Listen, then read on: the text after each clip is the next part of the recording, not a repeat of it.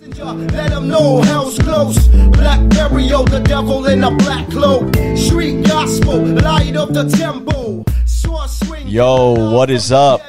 We want to welcome you to the Street Gospel Podcast. I'm your host, Dave One. And uh, for everybody out there, thank you for tuning in. This is uh, episode number one. I mean, uh, finally got here. I know everybody was nudging me, pushing me to start something, but we finally got here. We're here. Uh, we want to thank our sponsors for really helping us out. Uh, our first sponsor is Anchor.fm. If you don't know who Anchor.fm is, uh, they're the ones that broadcast our podcast to all the major platforms. Uh, the best thing about Anchor.fm is that they are free. Free. So who doesn't like free? Uh, our next sponsor is Savior Brand.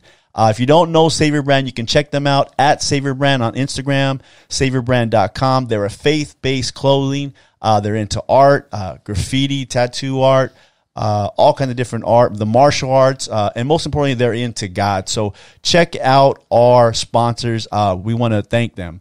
Um, but we have a special guest today.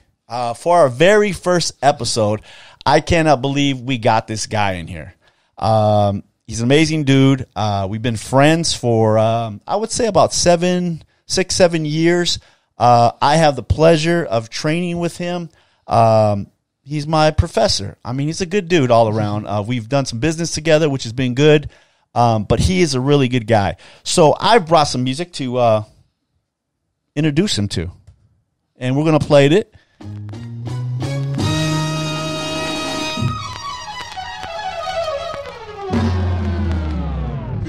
So this guy right here is a King of the Cage veteran, champion, Hall of Famer, WEC veteran, UFC veteran. He is a jiu-jitsu legend, but I think his pride and joy is that he's a father, right? I mean, he's a father. He owns his own gym, JV Jiu Jitsu.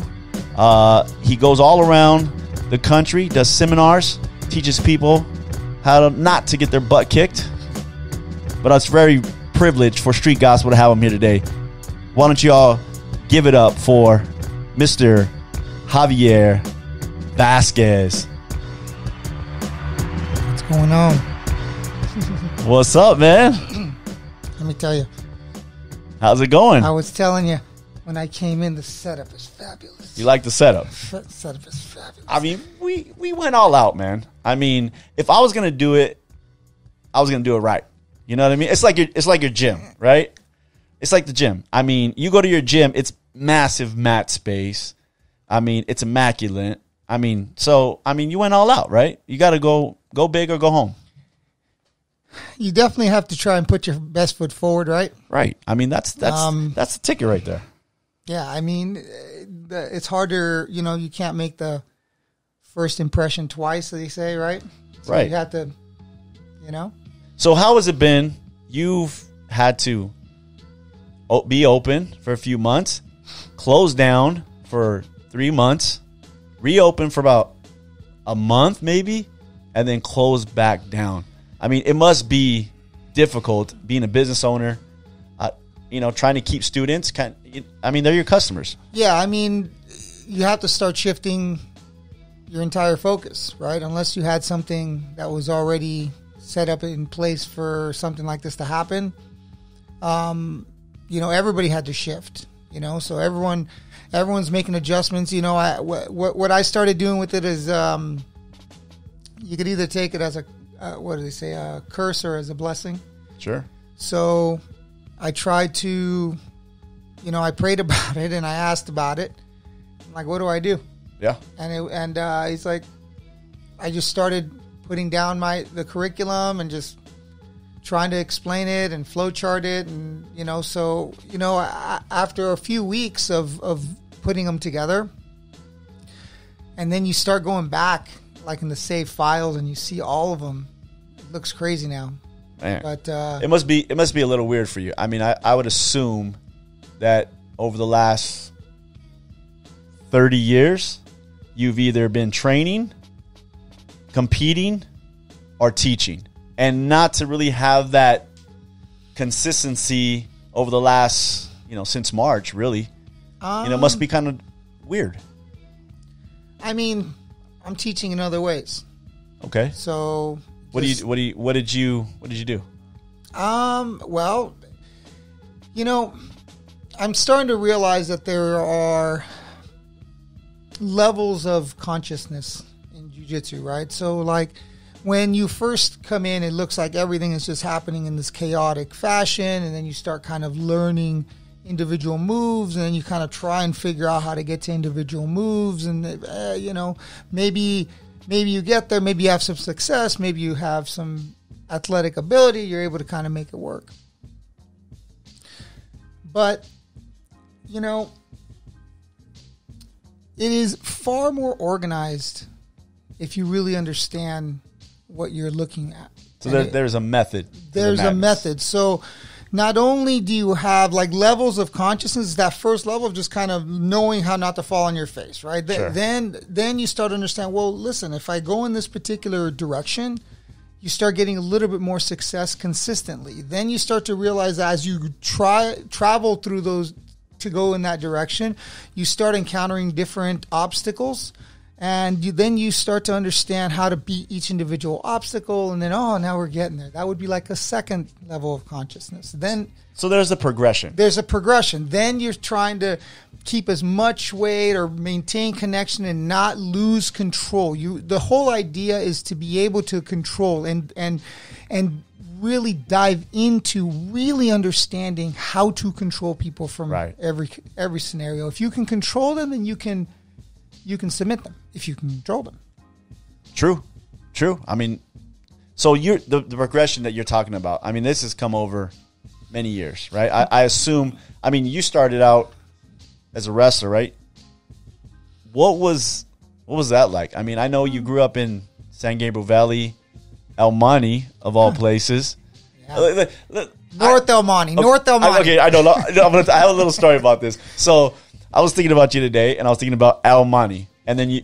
I know you went to Arroyo High School, right? Okay, so I knew people that went to Mountain View. Now, The duck farm. what, what, what was yeah? What was funny about about that is I always thought it was funny because everybody that went to Arroyo thought they were a little bit better than the people that went to Mountain View. It wasn't that much better. that much better. It wasn't that much better. I like- mean, maybe it was because Arroyo you could Point see, five You could see the mountains, and Mountain View you seen the freeway. Yeah. I don't know what it was, but but El Monte's tough. El Monte is tough. It is tough. So, what was it like growing up in El Monte? Because it was what your mom, a lovely woman by the way, that I got to, and Naira. Uh, yeah. Well, my sister was ten years older, so uh, she was, you know, she started going to college, she started getting married, doing all those things because she was ten years ahead of me. So, Okay. yeah. By the time I, by the She, time, she's gonna get mad that you put her, her her age out there. well, I didn't say my age, but uh, so she was a li- she, she was a little bit older. So, um, yeah, it was yeah, me, my mom, and my stepdad. And I mean, I actually lived. I mean, don't get me wrong. Like I got bullied just like everybody else, right?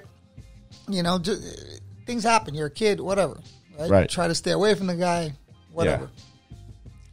But it wasn't like South El Monte. Like South El Monte, where gang banging, EMF, the EMF Yeah. gang.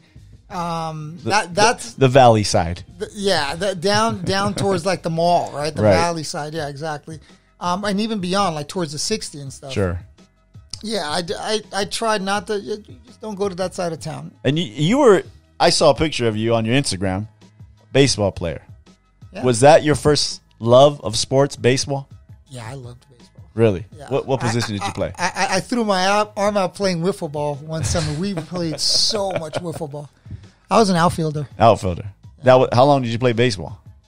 Uh, I played when I was 12, and then, like, it's a commitment. So, like, my family was like, too much commitment, even though I liked playing, right? You know what? That's that's is big. My wife says the same thing that she loved playing basketball, Yeah. but her family didn't like the commitment of taking Yeah. her to practice or going to Saturday. Yeah, it's got to be convenient. It's got to work for everybody, Yeah, right? So, um, so then when I got into high school, no, no, I played. I think one year of like pony league, nice. Um, and then I like took a couple years off, and then I played in high school, and then I played four years in high school, Wow. and, and then I played uh, like two years of city baseball after that. Really?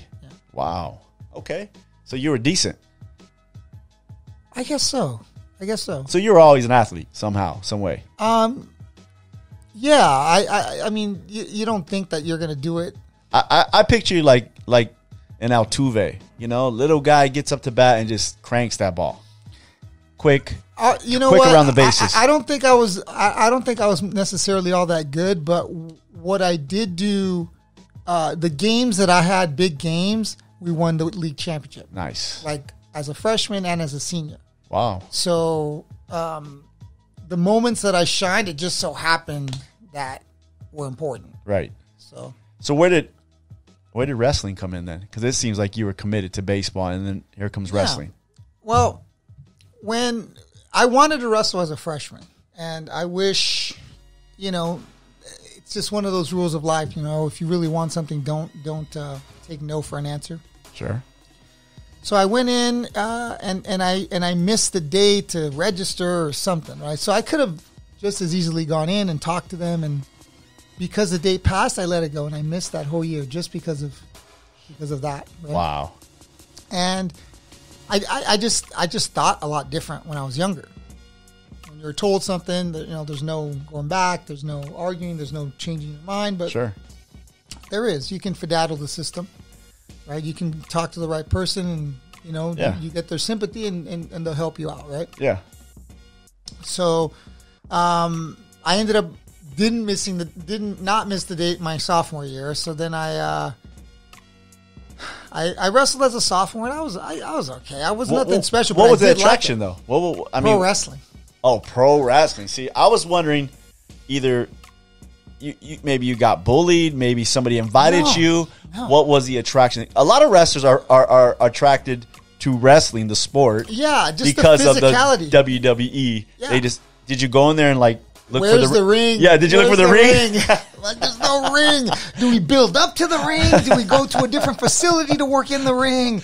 What's Uh, happening? That's what I was wondering right now. Like, did Uh, you look yeah, for the ring? Of course.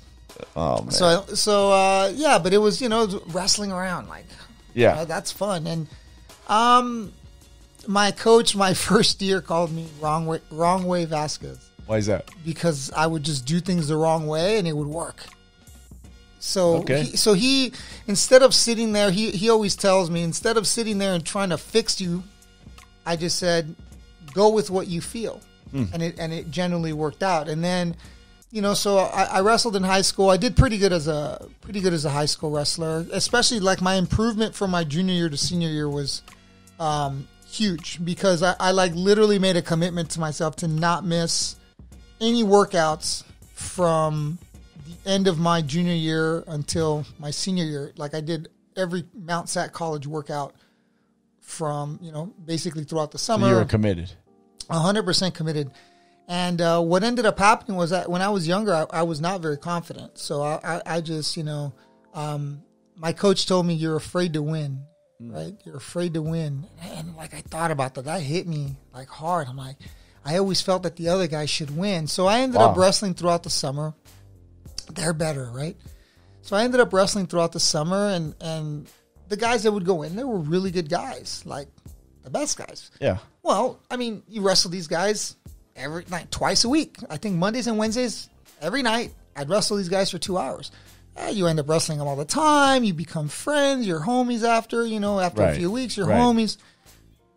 And you're wrestling with these really good guys that are getting you really good, not knowing what's actually happening. So we ended up, uh, I think, I think uh, there was a tournament, like a like one of the first tournaments of the year, my senior year, before we did a tournament. Um, and I see all my buddies are all ranked. Wow. All of them, they're all ranked. They're all ranked. Like, Were, not, like were you going through the list and going, I beat him? I, no, no. I It, beat him." it, it wasn't even about beating. These are I, I It was wanted, like I can compete with these guys. Yeah. Oh, okay. Well, it was not just that I can compete, but but I was happy for them, right? Like, Okay, I was yeah. like, well, wait a minute. So then I started thinking, well, wait a minute. These guys are ranked. Literally, most of my friends were ranked one and two, one, Nice. two, three, And these are guys you spar with all the time. all the time, like tit for tat. I'm like, so I should be somewhere in there. And initially, when the when the you know the I think it was called Juan's Picks. So initially, Juan, this is this this, this guy that, that would follow high school wrestling, and he put all the picks for the Valley and all the you know. Yeah. So I was I don't think I was on Juan's picks. Um, I was on Juan's picks by the end of the year, but I wasn't on Juan's picks. But um, uh, all my friends were ranked. All my friends were there, and they went to tournaments and they were winning. I'm like, hmm. So then I started competing, and then next thing you know, you know, confidence goes like I can't compete with these guys, right? Nice. So um, that's how I got into wrestling. Then I got hooked on wrestling. Then then uh, Wh- When did you figure out that you were good at wrestling? When did you say, I, I can do something with this? never. Never? You just competed and that's it? Because I, I have a problem with wrestlers. Wrestlers. Most people do. yeah. wrestlers are tough dudes. Yeah. And every time I've been, if I'm in the gym and the guy could be never trained jujitsu in his life, but he can compete, you know, with wrestling alone. I mean, it's it's hard for them once you get them on their back. They don't like that. But on top, being heavy, wrestling, it's, they're just tough dudes. I just I just look hate at the, wrestlers. Look, at the the, the skill set that it it encourages. Right, great balance. yeah, You know, don't let, allow your hips to float over. Keep your hips square to the ground. Um, work hard. A lot of grit. High intensity. Don't give up. yeah. Like like the, the you're producing. Like I have like I have my daughters and and my daughters have been very princessed like their whole lives and and they think I'm like crazy extreme. Like and and now they're figuring it out. Now that I'm a little they're a little bit older, they're figuring it out. But they're like, you're just so harsh. And I'm like, I'm not trying to be harsh. It's just you just trim the fat and say, right. this is just got- what you got to do, and you got to just suck it up Yeah, and stop being a whiner. right. And that's that, and just get it done. That's that wrestler's mentality. So I started to realize that my daughters would get really pissed at me. And then I listened to Tom Brands and Terry Brands. Who's that?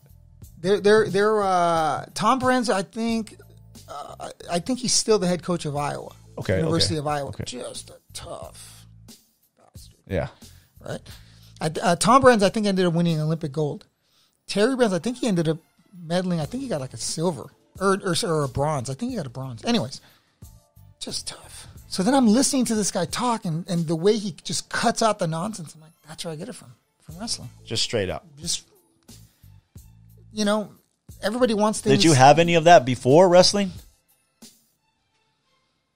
The reason why I Um, the reason why I asked is because is wrestling already in a wrestler? You know what I'm saying? That You know, mentality, that toughness. No, no. I Or is it every- developed? no, I mean, uh, you you struggle. Everybody has the same struggles. You know, holding on to single legs on your knees when you get excited. Everyone has these struggles, and how long you hold on, how hard you keep going, not giving up. Like like a lot of it, it just makes your mind tougher. Right. There's there's guys that I that I train with and I work with and I teach that right now I am specifically working on them just not mentally quitting. So I'm just putting them in bad spots Right. and just keeping them there and baking them and, I, I've been there a few times. yeah, but but but the kind of thing where every time you escape the position, I figure out a way to put you right back in the exact same Right. position, and and not panicking and not over breathing and not over exerting and calming the mind and calming the breath, so you're Right. not making these mistakes. And then some guys aren't even that tired, but just the constant pressure will make them quit. Wrestlers, it takes longer Right. definitely for that quitting to happen. You can reach that level of uncomfortableness and be able to push through it. But inherently in wrestling, you know, if if, if it didn't work, you didn't do it hard enough. So you just got to do it even harder next time, right? To make it work. That was kind of the mentality. I- yeah, that's why I say wrestlers are the toughest dudes. Is is wrestling Harder than MMA. I think it's harder than MMA. is it a, is it a good it's probably the best base for MMA. Would you agree? Smartest space. Right. You I'm- control the, you dictate where the fight takes place. I mean, I'm looking at great fighters in MMA, and they've all had great, great wrestling bases. if you don't have a great wrestling base, there's a huge gap in your game, even if you have a good guard. Because okay, oh, I don't, I don't need wrestling. I don't need to take anybody down. I can knock everybody out, and if not, I can force them to take me down, and I have this great guard. Yeah, but if you need a takedown, you can't get it. Yeah. It's it's it's you have to be able to control where the fight takes place. Brian Ortega when he fought His uh, biggest hole is his wrestling. trying right? to take him he couldn't I mean, unbelievable guard, unbelievable conditioning, great Striker, boxing. Yeah. He, what I would recommend to him is he needs to understand and love wrestling, Yeah. and and that kid will be Phenomenal. unbelievable. Especially the way he's he- already unbelievable. Especially I- the way he's on the ground. I mean, it just he he's already unbelievable. Yeah. He, he he's he's got great coaching. He's got you know a tough mind. Um, he's a hard worker. You know, he's, he's a great kid. So when you transferred from where did that transfer come from? Wrestling, going to Mount Sac, right? Did well at Mount Sac. Um, and then when Yeah. did you, when did you say, "Oh, I want to go into MMA"? Um, I was I had come across remember remember when you used to be able to rent videos at like the Korean place, Yeah. or whatever, Chinese place or whatever. Videos, chicken, and donuts. That's You- right. You know what I mean? You get all all the All little three. Chinese place. Yeah, You know what so I mean? you- so- Play video games in there too. Yeah. Whatever you need. I um, there was a curtain. Don't go behind the curtain if you're a little kid, man. Yeah, stay some- away. You're gonna see some videos, some titles that you don't want to see, Yeah. man. I, I've So- accidentally walked behind that curtain one time. Yeah, My dad it's me. funny because this this place had had a curtain. Um, so I ended up seeing uh, UFC four, and I had heard of what the UFC was, uh, but um, I'd never seen it. So I rented it, and Royce beat Dan Severn. I wanted Dan Severn to win because he was a wrestler. I was wrestling. Right. Well, I was wrestling in, in college, and, and I actually could have gone Division One. I. just didn't want the grind anymore, man. It was just I just needed a change. I, I did Because at that point, you did what three years of high school? I did three years of high school, and then I Four I- years I- of college? Uh, no, no, I just did. Uh, I I got hurt about a quarter of the way through my first year, so then I had to. I recovered, came back the next. Uh, I redshirted. I didn't want to wrestle. When I came back, the, I had some distractions that that I, I just didn't want to wrestle. That was just one of those times. It was just it was just one of those times, and then I ended up getting remotivated and, and came back and, and did it uh, the, the second year. So basically, you know, two and a half years. two and a half years. So at that Uh, point, you're you're looking at almost six years of straight dedication wrestling. Yeah, I mean, and, and when I and what I've realized is when I dedicate myself, I I go full hog. So, um, I if I commit to something, I can I usually commit a lot. So, I don't like to do things half-ass. Yeah. All so, um, so I wrestled. I did well. I I I could have been uh, picked up by two two two schools and gotten a scholarship, but I it wasn't just that I didn't want to wrestle. I would have wrestled if I wanted to keep going with school, and I just didn't want to keep going. I was just over. uh, I got I got my degree from Mount Sac, and I was just it just I, I'm like I had enough. I just didn't want to do it Right. and uh, you know, so I was working, you know, a grocery grocery store job, stocking shelves, and and just kind of started jujitsu. I, I met a, a friend of mine who was going to Mount Sac to, to learn how to wrestle, who was a, already a, a good purple belt, and uh, we got to talking, and and he goes, "You want to do it?" I go, "Yeah." So I took him down, armbar, took him down, got armbar, took him down, triangle, armbar. I was like, "Man, there's no way, there's no way." but I, but I already Did you knew. put Royce and your buddy kind of together and be like, "Oh, this is what Royce did," or was Yeah. this is the stuff that he's using? he's doing something that I'm not picking up on. You don't feel like you're in danger until you're in danger, right? Like because because in wrestling, Right. it's not. It's a totally different feel. It's a totally different Right. objective. I'm not saying you can't interlace the two, but when you don't understand that that there's something different other than wrestling, Yeah. because wrestling works so well, um, you don't you don't know until you know, right? Right. The Right. first time you rolled, how'd that go? it didn't go well. It was. It was At first time, everybody rolls. when when I rolled the first time, I we, we were we were we were sparring kickboxing. My buddy was like, "Hey, let's let's roll a little bit."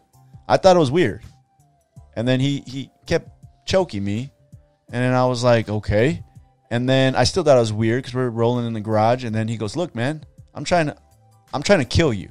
Let's just play this game. Yeah. I'm trying to kill you on the floor." And when he said that, I that weirdness went away. You know, I was trying to. People always said, you know, it's, oh, it looks it looks homo or it looks this, it looks that, you know. And then when my buddy said that, it just clicked in my head. He goes, "No, I'm trying to kill you." Yeah, we're trying. We're playing to kill. Yeah, this know, if so- if I hold this this choke like three more seconds, you're gonna be out. You know. So I was like, longer than that, but right, yeah. but uh, you know, three more seconds Yeah. before I after I tapped. You know, and I was like, okay. So once I got than that, though. yeah, longer than that. But but yeah, but it's it's uh, Eddie Bravo said uh, this is either uh, what did he say like uh, an accident, like accidental stuff, or. Su- this is either super low level grappling or super high level into like uh, grappling. He goes, it's it's one or the other, and then uh, we had to figure out which one. Eddie tells these stories. I, It's I, I, I don't. I don't know how you hang around with Eddie, man. He's a trip, but It's hilarious. Yeah, he- he's He- funny. He's, He's he's, out a- there. Yeah, he's a great cat, man. yeah. So you went from baseball, wrestling, working at the grocery store, and now you found jujitsu. Was it was it an instant love, or was it more, a- of- or was it more of a thing for you? Like I need to figure this out. Well, you know, it's funny. Funny the way my career went. Right. Um, when I got out of college, I uh, my wrestling coach found uh, Rodrigo Medeiros' gym in La Habra, and uh, it was actually Whittier, and then it moved to La Habra. So we went down there, and Car- it was Carlson Gracie team, high intensity, super athletic, and I would watch the guys. I go, yeah, this is this is definitely the right place at the right time because that's where my mind was. For people time. that don't understand, Carlson, Carlson Gracie came from Carlos, and then the Yep. Helio Gracie and those guys, two different styles, right? two totally different styles, two completely different philosophies. Okay, so you you went to a school that was basically attack mode, Attack mode, right? attack mode, and then if if you were to ask how do you escape side mount, they'd be like, why'd they pass your guard? Your guard sucks. Let's go work on your guard. That way, nobody passes. And it made sense, right? It made it, it made logical sense. Like, and and when we would do drills, it was like explode as hard as you can to get out.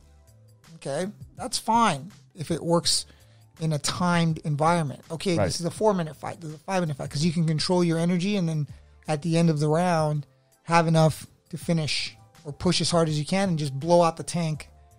Yeah, Right? yeah. What if there's no time?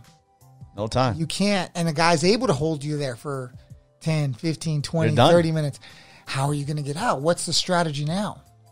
So, um, yes, that Carlson style worked for years. It worked, I'd say, for about the first 10 years of me doing jujitsu. Were you were you sold on that style? I was killing everybody. So that style was that it was it, it benefited you. So you saw some you saw something in that style, it fits you, and that was it. Un- Did, did you I- I did did you just start issues. leaps and bounds? I felt that the combination of wrestling and jujitsu Helped um, put you a little bit put ahead. me ahead of, of most people. And and I would look at guys and go, this guy can't stop my takedown, um, and this guy or or it was like this guy can't stop my takedown, or if I can't take this guy down, he can't touch me off my back, and I'll tap him off my back. So I felt like I had a good enough style to I can make takedowns difficult.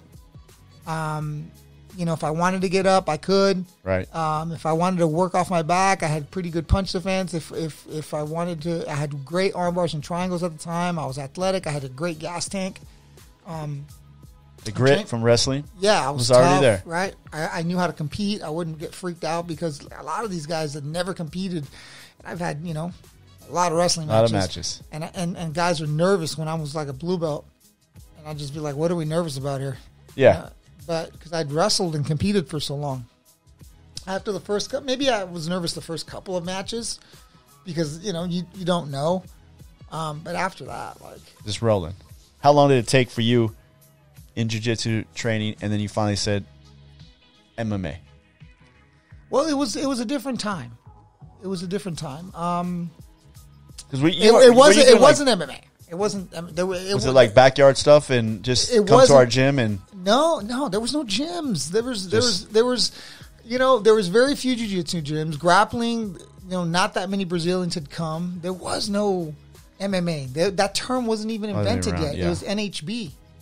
No holds barred, and it, right? know that. Or Pancrase. Pancrase? Yeah, right? Pancrase rules was, was slap rules, right? Last rule. So, um, so for me, it started off wrestling, and then I started doing jujitsu, which was submission, and then I did open hand, and then I did. Oh, so you did open hand? Yeah, I did open hand too. Okay. I So- thought you were. I thought you went to boxing. It, then it, it was boxing. matter. Yeah, but it didn't matter because my, my game plan wasn't to slap with you. If you Sure. can't stop my takedown, It's over. You can't. What are you going to do about it? Yeah.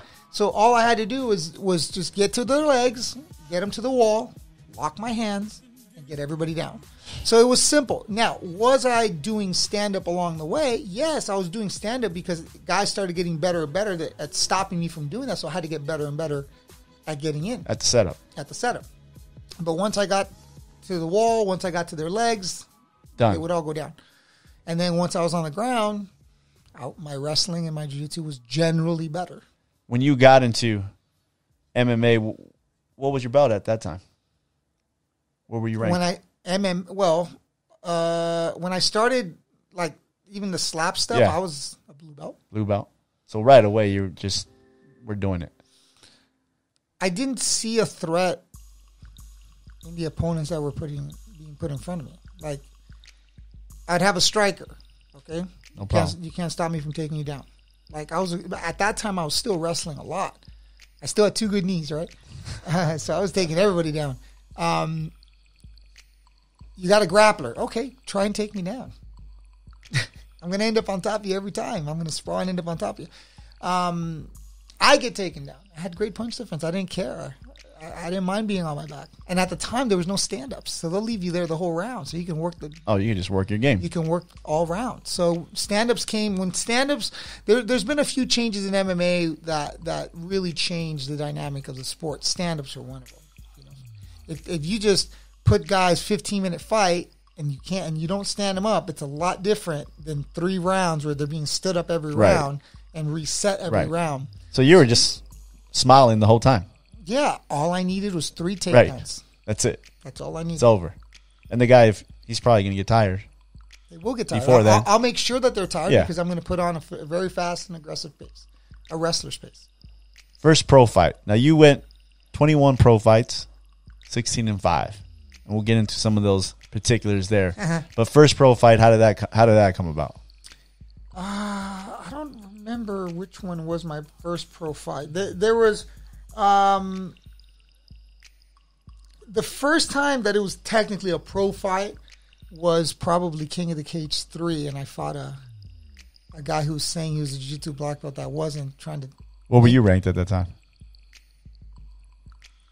Uh, probably a brown belt. Brown belt. per, per, at least purple belt. And this guy was trying to, he was like a taekwondo guy, and he was trying to not let me, oh, if I tell him I'm a black belt, he won't take me down. I didn't care if you're a black belt, I'm still going to take you down. Oh, so it might have been a bogus black belt here. He was a bogus black belt. so I ended up taking him down, and the second I passed it mounted, he tapped. Wow. So that's where I was like, hmm. So, not a great, uh, That that a great first one. Not a great first. I one. mean, I- it turned out though that, that my knee was torn. I didn't know that I had torn my ACL. So you already tore you tore your ACL. So I, I read recently. I didn't know this. I know you tore your ACL in the Alberto Crane fight. For those that don't know out there, that was a title defense. You already had one key in the cage. Uh, one forty five, uh, no, one fifty five. one fifty five. There was no one forty five. Too small. Too small. So 155, you went to the title defense against Alberto Crane, and you fought for three rounds with a torn ACL.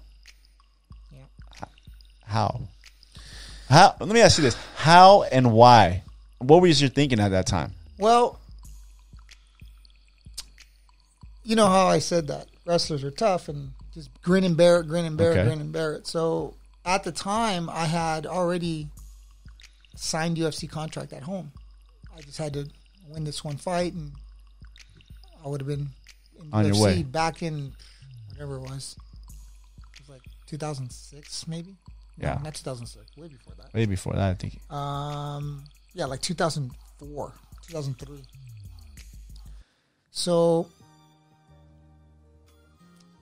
I did not want to lose that contract.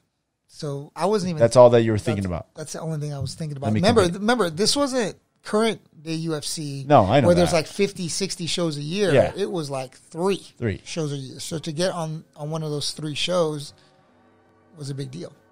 that it, it, it was wild to me because I read too that you got recognized in Sports Illustrated as most inspirational uh, sporting act or whatever they called it of the year, Uh, C- yeah. and, and that's where I read that at, and I was like, I knew he had you had torn your ACL during that fight because we talked about that before, but three rounds is ridiculous.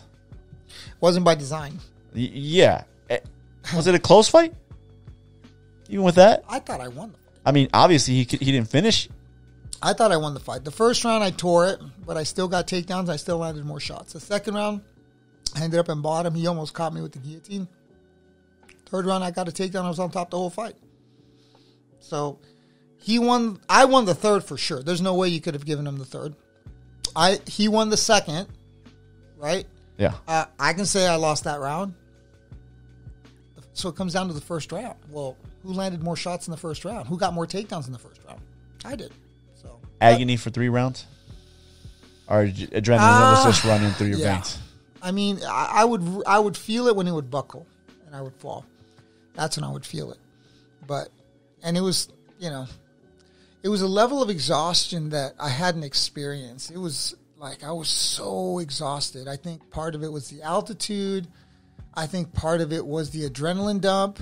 Uh, I thought part of it was the amount of energy in the room. It was an insanely involved crowd. It was the most intense like competition experience. Those days were less like a, a huge bar bar room, right? He was no, no. This is this was uh, Santa, Santa. I mean, you know what I mean. Ana But Star. that, that that that atmosphere of just like hundreds more, but of a bar, of a bar fight where people are just yelling and and it, it, it was it was it was by far the most intense fight I'd I'd been in. I, I, I fought in front of I think like eight or nine thousand people at least, and there was probably three, maybe four grand or three or four thousand people. Oh, That's in a that- lot. That's a lot of people. in, in that. Com- coming yeah, but, from- but it was it was it was packed. Packed. That's what It I was mean. Packed. So th- so the the sound and and the energy was so high. It was over the top. Nothing you experienced before. No, and, and you have to stay focused because and remember everything was against me because I was fighting the hometown guy. Yeah. So anything that I would do or that he would do, it would get this, you know what I mean, huge Right. pop. So you got to kind of phase that out and focus on what's going on and not let that draw your attention. Yeah, we're talking like you probably wrestled in front of hundreds. No, it's thousands. So there's big, big change from, and then you got people that are probably bullying you on, on his side and all that Dude, stuff, right? everybody was booing me. Everybody. It was it was a completely lopsided. So in those days, or I should ask you this: How did you get the name Showtime?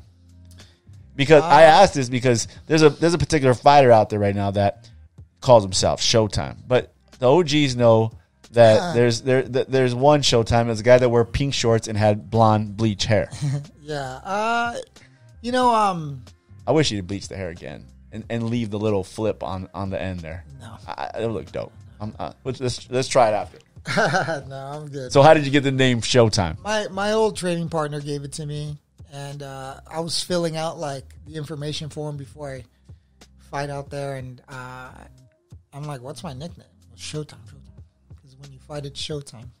Okay. So I just put it on there, and, and it ended up sticking. And then the the first time I, I bleached my hair and, and wore the shorts, it was a dare.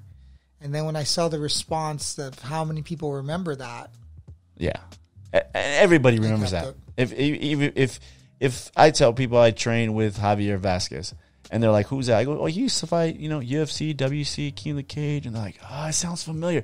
You know, pink shorts, blonde bleach hair, Cuban guy. Oh yeah, I remember that dude. Sick jujitsu. That's what everybody says. That's how they remember you. yeah, So Showtime. they don't ca- even remember that I wrestled. yeah, Just jiu-jitsu. just jiu-jitsu. So Showtime came about almost. I mean, I mean, they say the best nicknames are the ones people give you. So You're it's not stuck. supposed to nickname yourself. Well, your friend told you though. That's what I'm saying. Your Yeah, friend yeah, said, yeah. be called Showtime because when you re- when you compete, it's Showtime. Yeah, but I don't get the, I don't get guys that I don't really nickname see you themselves. calling your. That's what I'm saying. I, I don't see you calling yourself Showtime. It had to be somebody to tell you. That's what I'm saying. The best nicknames are when somebody gives it to you. Yeah, that's the way I've it's gave supposed to be. you know the way I am in the gym. I've gave plenty of guys nicknames. oh, so have I. You know what I mean? And it just sticks. Stretch. You know what I mean? Stretch, yeah. You know, all these guys different names, but you know Eric. We don't just call him CHP Eric. You know, you- oh CHP Eric. Yeah, yeah, I got it. Eric, Eric, no, don't know. CHP Eric. CH, God, got it. know who that- Mex- Anthony. Mexipino, Mexipino. right? So we, we always we always come up with these Yeah. with these names for people. What what which one, Cal? What do you got? Man, Man dime. Dime. No, see that was a bad nickname. Guy in the gym called himself called himself Man No, no, no. Who gave him that? You didn't give him that name. Who gave him that name? it was? Dirk Diggler, Dan Nolan. Oh, Big Dan. Big, Dan gave him that name. Yeah.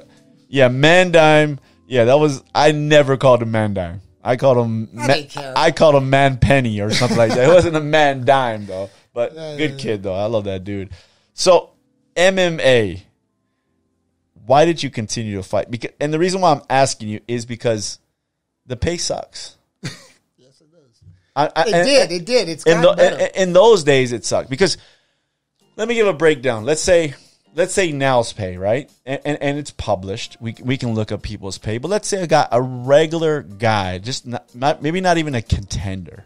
Let's say you know uh, not a gatekeeper but working his way up through the ranks. Let's say this guy gets 50 50 g's. 25 and 25 or 50 and 50, 50. 50 g's for this one guy right? Let's say one guy gets 50 g's. Well, is that 50 and 50 No, no, no. or 25 like and 25? like let's say let's say well now they pay separate they don't pay the same to both guys right Well- I, I saw cowboy the other day he got like i think it was like 250 and i, I forgot who he competed and they were like i think they were like $75000 Well, left. it- so who's the draw right that's how they pay these guys now Yeah, but they're all it's also broken up into to show and to win. to show and to win so yeah but in your days did you have show and to win too so show and to win let's say now though let's say a guy gets 50 g's okay break that down to me wh- where that goes really quick for a fighter I mean, well, you would have to pay whatever taxes off of 40% here in ca Yeah. Uh, so what does that leave you with? That's 40%. That's what, 35? 30 30? yeah Okay. Then you have to pay to your management's usually 10%. So that's five grand. sure So that's uh, 25. your trainer 15 Uh, yeah, you're gonna have to pay your gym and your trainer at the back in the day. Like most guys, like I didn't agree with it, but guys would train for free, and then whatever they would get on fights, they would pay ten percent or whatever. You figure that's another 25 so, to So yeah, trainers' fees is usually ten percent. okay so off the top that's another that's five grand that- right Uh, no, ten percent would be twenty five hundred.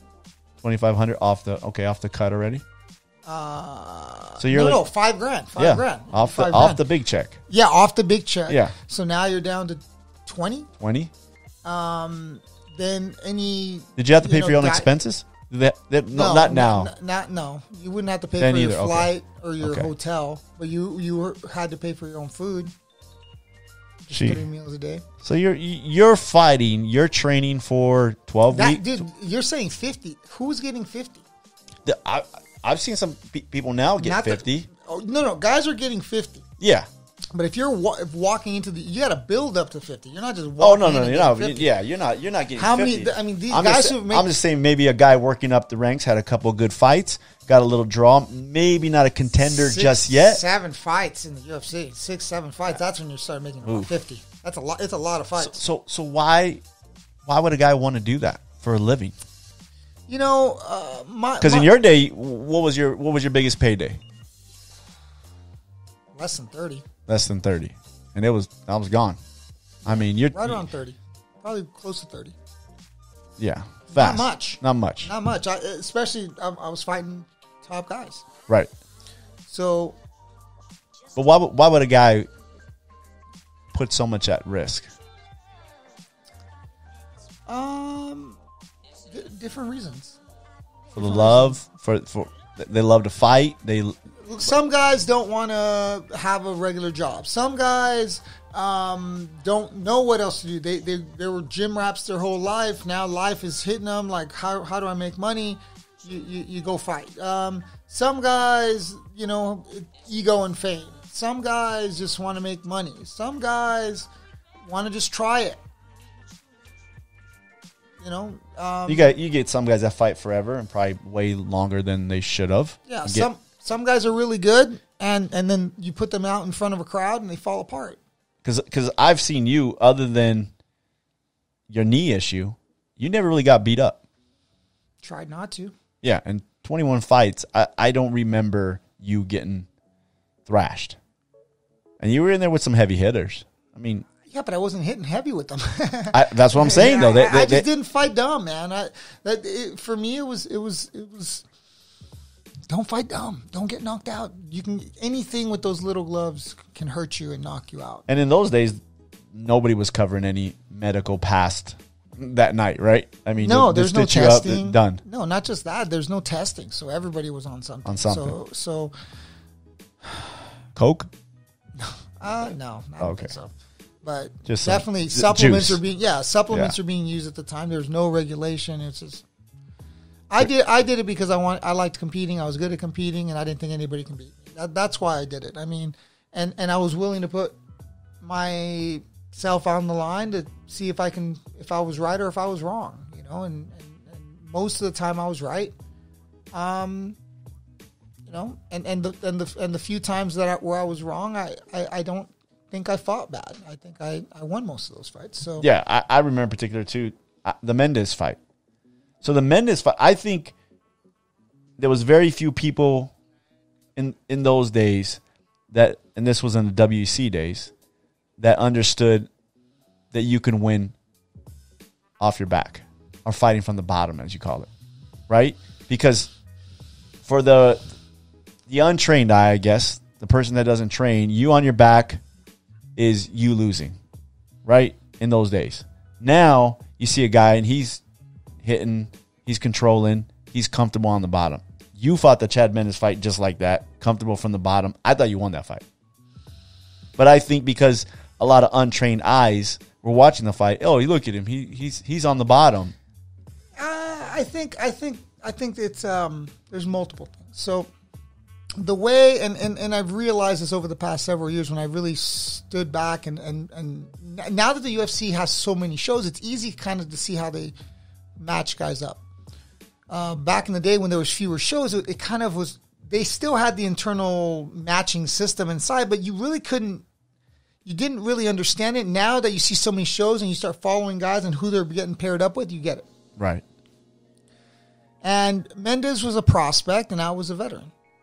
And I thought I could beat Mendes. That's why I took the fight. I'm not going to just take a fight just to, you know, have a guy build off of my name. I thought I could win the fight. I thought I, I thought I, uh, I fought well.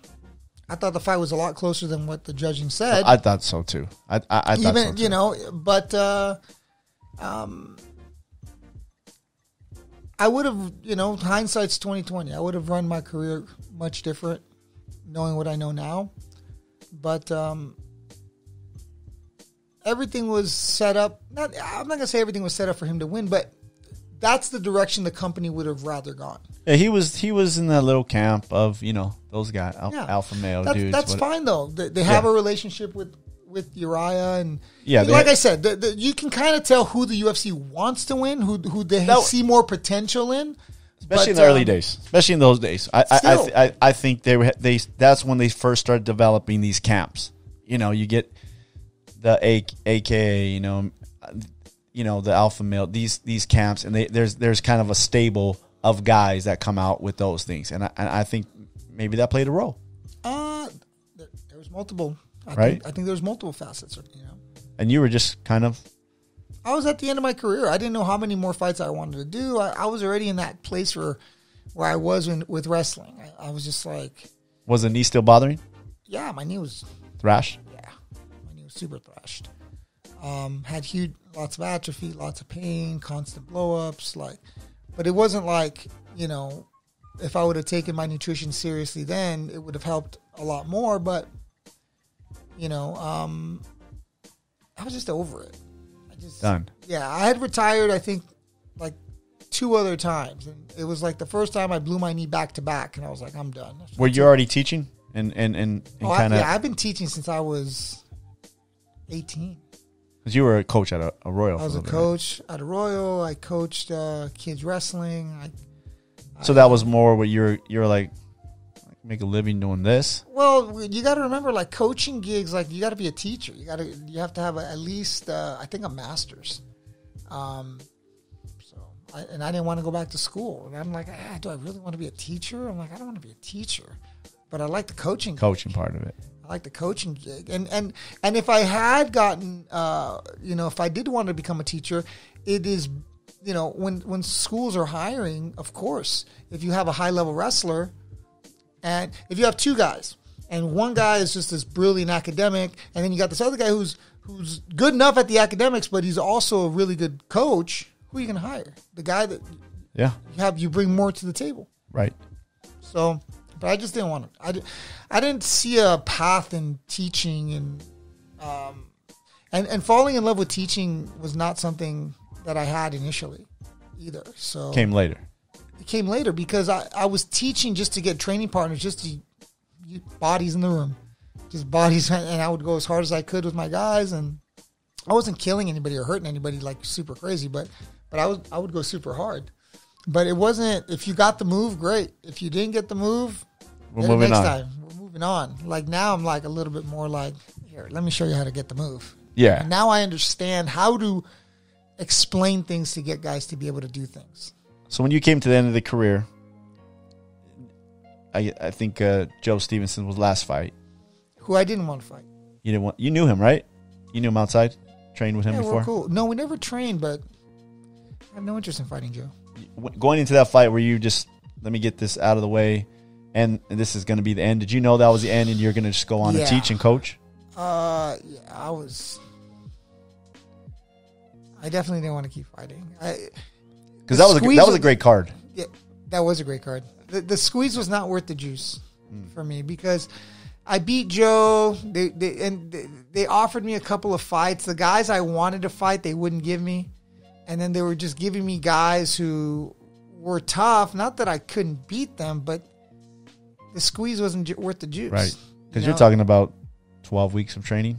Yeah, ready at least just- eight to eight to twelve weeks, and just to, for what? For for a, a small paycheck and, and and fighting really tough guys, and it's like there's g- certain guys that are you keep certain guys away from guys, you know. Right. So so there was several guys at the time that weren't raising their hand to fight me at the time because I was a bad style matcher for them, and I was older already. I was already, in my thirties. Like, do you want to?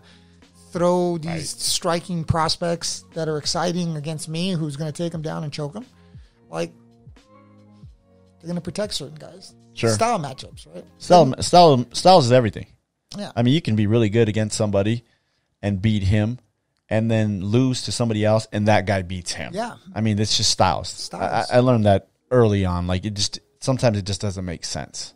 Uh, it does make sense. It's it's. it's I mean, in your mind, if you're if you're beating this guy and that guy beats him and you lose to that guy, it just you in your, in your how mind did the fight go? How did the Yeah. fight go? You know what I mean? Uh, you know, how did the fight go? Right. There's so many options of winning. It does make sense because when I looked at an opponent, I always looked at where they were weak. I'm like, that's the first obvious glaring hole. And if they were strong everywhere, where they the weakest, and then we chip away at figuring out how they're stopping at that weak point, and you just bypass that, and boom, especially if they lost a couple fights. You watch those fights, get a little it's easier. It's easier to dissect off of losses, right? yeah. it's easier to dissect. Some guys will give you a big clue each fight. This guy's just some horrible guys, some this. guys just have glaring holes. You know, now it's a little bit different because guys understand. There's a lot of aspects to fighting, so guys understand how to stand up really good. They have good firepower. They have great conditioning. They have the ability to stand up from the bottom. They have the ability to stop takedowns.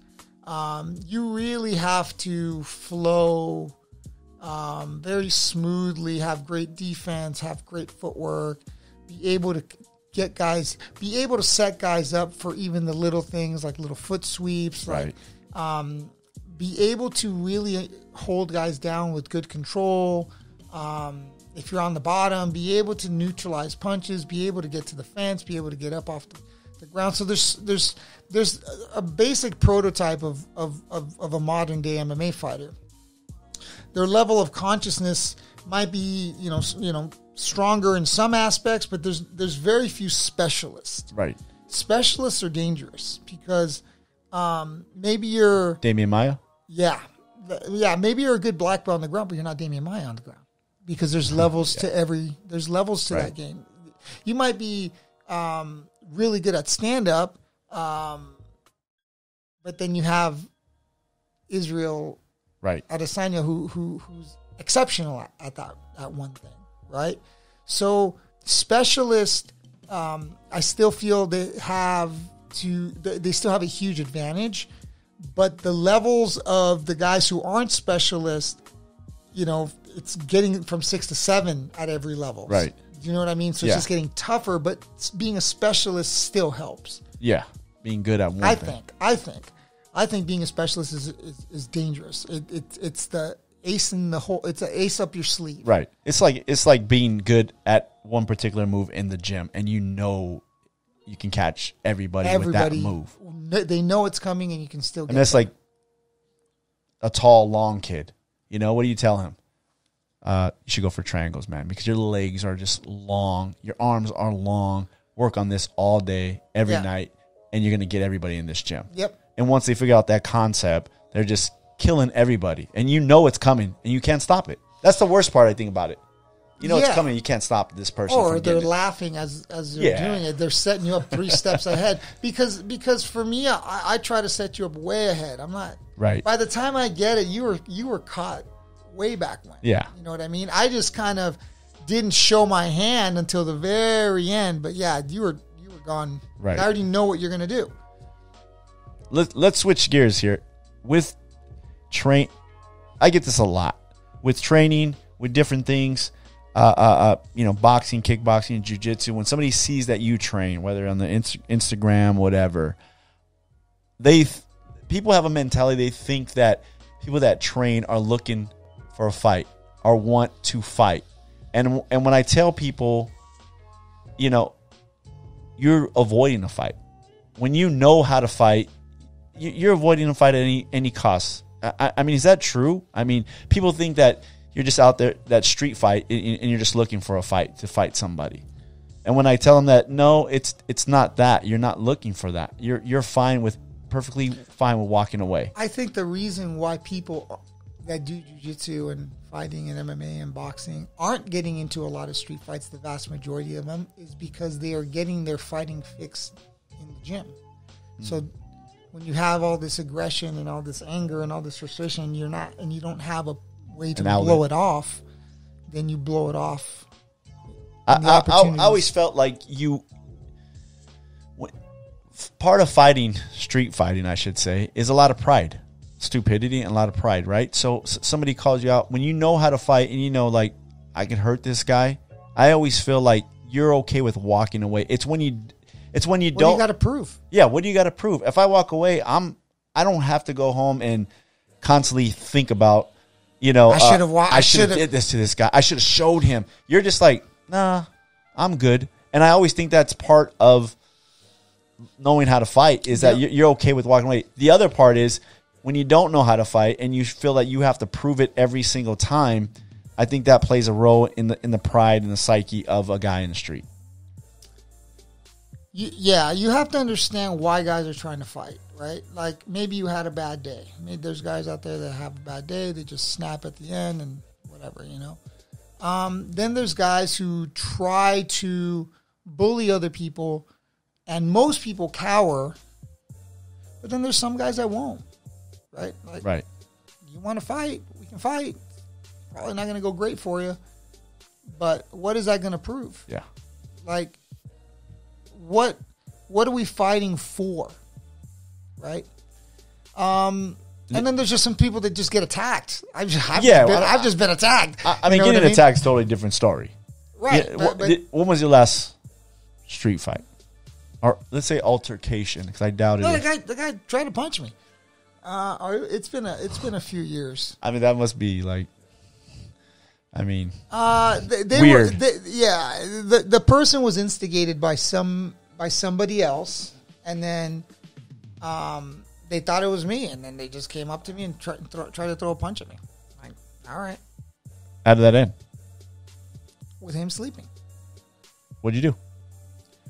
Uh he he he threw a punch. Wild, wild, wild punch came from way back here. Nah, I mean, I don't even remember. I just know that I just slipped and got to his legs, and he was like trying to choke my neck when he didn't have anything. He had arm, had my neck and my arm, and he was like squeezing like super hard. So I just kind of waited for him to stop squeezing, and then um, took him down, and ended up like kind of in a headlock. So he ended up turning his back, and it was pretty basic. It wasn't. It wasn't.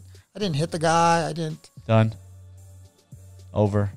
Easy work. I'm, I'm I'm not there to hurt people. I'm not. Right. It's not my intention. No. Like um, even even when I fought, I wasn't one of these guys that enjoyed hurting people. Like like it brought, uh, you know, I I'm gonna hurt them. I'm gonna break their Right. face.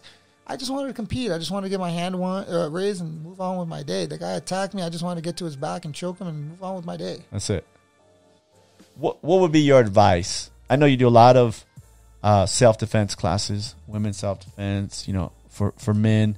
What's your advice if there's an altercation and the guy's just in your face? I know, I I know Well- the answer, but most people ask that question. They go, "So what do I do? What what, what do I need to do?" Well, I mean, there's there's several things like keep your distance. Distance is a key, right? Yeah, I mean, if you're sitting down and the person's sitting up above you, understand how to make distance and make this and, and keep it right. You make distance, you keep distance. If the guy grabs you, understand how to clear and maintain distance or clinch, Right. Or shoot, get to the legs. Understand where's my back? Is my back against the wall? Now I can't move backwards. Now I can only move side to side Awareness is huge. awareness, right? Um, understanding what I call the magnetic field. Like when somebody's too close to you, you can feel their energy Yes. right there. Understanding how to keep them outside of the magnetic field. I've always told Cam, especially when he was in high school. And he's pretty. Yeah, he's a good looking kid, right? Don't, don't don't ruin that face there, man. But I told I, I would always tell Cam, look, man, if kids are coming up to you, there's a group, they have their phones out, and the guy's getting up to you in your face, right? He's walk. You never let the guy get to your face, right? It's it's it, it- the old school days. I'm, I'm sure you had a at a Royal a few times, and the cholo right in your face. You know the the pushing each other with it. It's the intimidation, It- right? it is the intimidation. But the whole thing was is you have no room. So any anybody that has no skill has the potential to knock you out if you allow them to get that close. Right? And I would tell Cam, you, it's always space, hands up, non-threatening, but you're ready. yeah, I mean, I, I got I got sucker punched when I, I- I was a bouncer for like several years, and um, Where? Where were you a bouncer at? I was a bouncer 'Cause- at. Godfathers at Margaritaville back when it was uh, open. A bouncer. I, I mean, wh- what was what? I mean, because I stayed back, I, man. I know bouncers and I know security guys, and they're like six six. My friend Big Mel is like six six, huge. I would I would just, I would literally tell people, look, bro, Wait, who would hire you? That's the thing. My fight manager. Okay, that makes sense. that makes sense. Um, yeah, so, So, I would t- I would literally tell people, look, bro, if I seen your application, I would five seven yeah, one thirty five. Next. I wasn't one thirty five, but I was like one sixty. All right. But I mean, I would literally tell guys, look, bro, they told me that they told me to come over here, and to, and, and, and I just need you to look, man. You're way bigger. You're way stronger. Can you just come outside for me? Like, like, listen, I don't want you to do anything to me. Okay, so you use a little bit of your mind. Yeah, so then I'd walk him outside, and uh, I tell the bouncer, if he wants to see me, call me. And I would just go back in the club. The guy, ah, because if it wasn't for the little Mexican guy, that dude's cool. But if he wasn't cool, Okay. if he wasn't cool, I'd beat his ass. And he's like, what little, me-? the bouncer, the, this guy was, George was like 400 pounds, dude. He was Okay. like 380, and he's probably six. Yeah. Your typical six, bouncer. like a big bouncer. Yeah. with a little Mexican. Oh, the little man, like with the blonde hair, The blonde hair. right? And he's like, dude, what did he tell you to get you out here? Oh, because he he he, he knew he knew. He's, you know, he knew who I was. knew I was dangerous. He knew I was too dangerous for him. He goes, dude, that guy will choke your ass out whenever he wants. He did just didn't want to drag you out here by your neck. Gee. That's what I would do. I would just choke guys and drag them out, and Done. it's easier. Done. And, and then, then you would probably catch him off guard big time. I mean, I would see you and I'd be like, oh, this little guy, what's he going to do to me? And then you just come, just choke, and then I- drag me out. listen, I, I I wasn't. I was just there to get the job done, man. I was just there, like I I wasn't anything, any altercation. I would just immediately choke, and then drag. Right. It, it just makes it easier. yeah. It would just make it easier. Like I don't know if that's politically correct to say that now. Choke but I and mean, drag. That's the way I would do it. Like because it's way more dangerous to be fighting with a guy, trying to hug him. Right. Guy grabs a bottle, hits you on the head with a bottle. And, and it's safer for the guy, it's right? safer for everybody. right? It's safer I- for I think a lot of people don't realize that. You know, we have the cop issue and all this stuff. A lot of them don't have training. We understand that. But the best train is a good, solid choke, right? To to put somebody They don't down. even know. I'm. I'm. They don't even know. Yeah. They don't even know. By the time they realize they're outside, the door's closed. And this is a done deal. Every go home and and everybody's It's safer. fine. It, really is safer, man. But I, I've been I've been choked out before. You wake up, you're a little embarrassed, but you're still alive, and that's it. Paul Paul Pingoy. Thank you, Paul. Yeah, and, and you're doing it. You're not doing it by knocking guys out. The second you start hitting people, you know they're going to press charges, but they don't Yeah. even remember. They don't even realize what happened. Most people Right. don't even realize. Plus, they're drunk and they're everything they're, else. they're a little embarrassed. If I have this guy five seven choked me out, I, I'm not really going to call the police if I'm a big. They don't dude. even know. They don't Yeah. even know. They don't even know. Stealthy. It's like a ninja. What is your fighting mentality? If you can break your fighting mentality down, what is it? Don't get hit. Don't get hit. Don't get hit. If you don't get hit, you stay calm. You're always in the fight. You're aware. You understand how to defend. Hard. If you make yourself hard to finish, you're always in the fight. So, um, fight smart. Get in, get out. Don't get flashy. Don't get consumed with a knockout. If the, if a knockout happens, great. But I don't care. I never cared how I won. I just needed to get the job done. I wanted to finish. Of course, you want to finish, but I wasn't there to hurt people. I wasn't there to to inflict pain. Like That must be it wa- it that's probably my- weird for the regular guy to understand that. Like, yeah, right. I don't know. he doesn't I- want to inflict pain. He's he's in the fight game. listen, when when when you become emotional and you try to inflict pain, it takes so much more energy than if you're just yeah. boom, boom, boom, boom, boom. For me, it's it's a it's Nobody a, fights a good machine. emotional, right? I- Yeah. I, I mean, it's very very Street even- fights are emotion. E- yeah, even athletes, right? Basketball players, whatever. There's very few guys that when they get mad, they play better. There's very few fighters that when they get mad, they fight better. Uh, I think there are some that, that harness well. Um, I, I was able to, to harness and be able to really focus on the strategy. It wasn't rage that I was fighting with. Right. I would conserve the rage and, and, and use that towards a strategic end, means to an end because I think that's why guys get knocked out. They become emotional, they become overcommitted, they become um, overly aggressive, and they get caught, right? And then they're upset. Oh, I should have I should have maintained control. I always tried to maintain control. Emotion plays a big role anytime, It right? helps. I mean, listen, I, I, I was I was it was Right. Because your emotions put you everywhere. Your mind everywhere. E- I just suppress, suppress, suppress. I think it's good in some ways in life. I think it's not so good in others. And I'm starting to learn the difference Yeah. because I would just always suppress, suppress the fear, suppress the anxiety, suppress it, suppress it, suppress it. Just focus, focus, focus on the. That's how I would. That's how I would get through. I mean, it. there's some emo- some emotions you have to deal with. So I had a I had this weird I I would go through this weird um, um, ritual in the back, and I couldn't help it, and I couldn't trigger it, and I couldn't stop it when it was happening. I could feel it. I, I would I would become uh, the anxiety would you know you try to focus and suppress. You try to focus and suppress, and, and what would happen was I would be consumed with emotion and just start bawling uncontrollably, and then it would stop. And there would be times where I think it was Jared, or one of my cornermen, my buddy Jared, Jared Lightswitch, um, came up to Romy. He's like, Is he all right? And he's like, Romy would be like looking at the clock. He's right on schedule. Wow. And he's like, watch what happens. Boom. I'd be walking out with tears still, and I would wipe off, and it was just, It's a weird ritual, man. it wasn't me that was in charge. Wow. Crazy. But I, I would see very big name guys. Do the same thing? No, nobody did did what I did like that, but you see them freaking out, crying, names that you would like that guy, and you're just like, everyone's afraid. Everyone's afraid because it's real. It's Yeah. real. We're not. This isn't scripted. Like So, so is a guy a, a fighter be a that's highlight. is a is a fighter that says he's not afraid.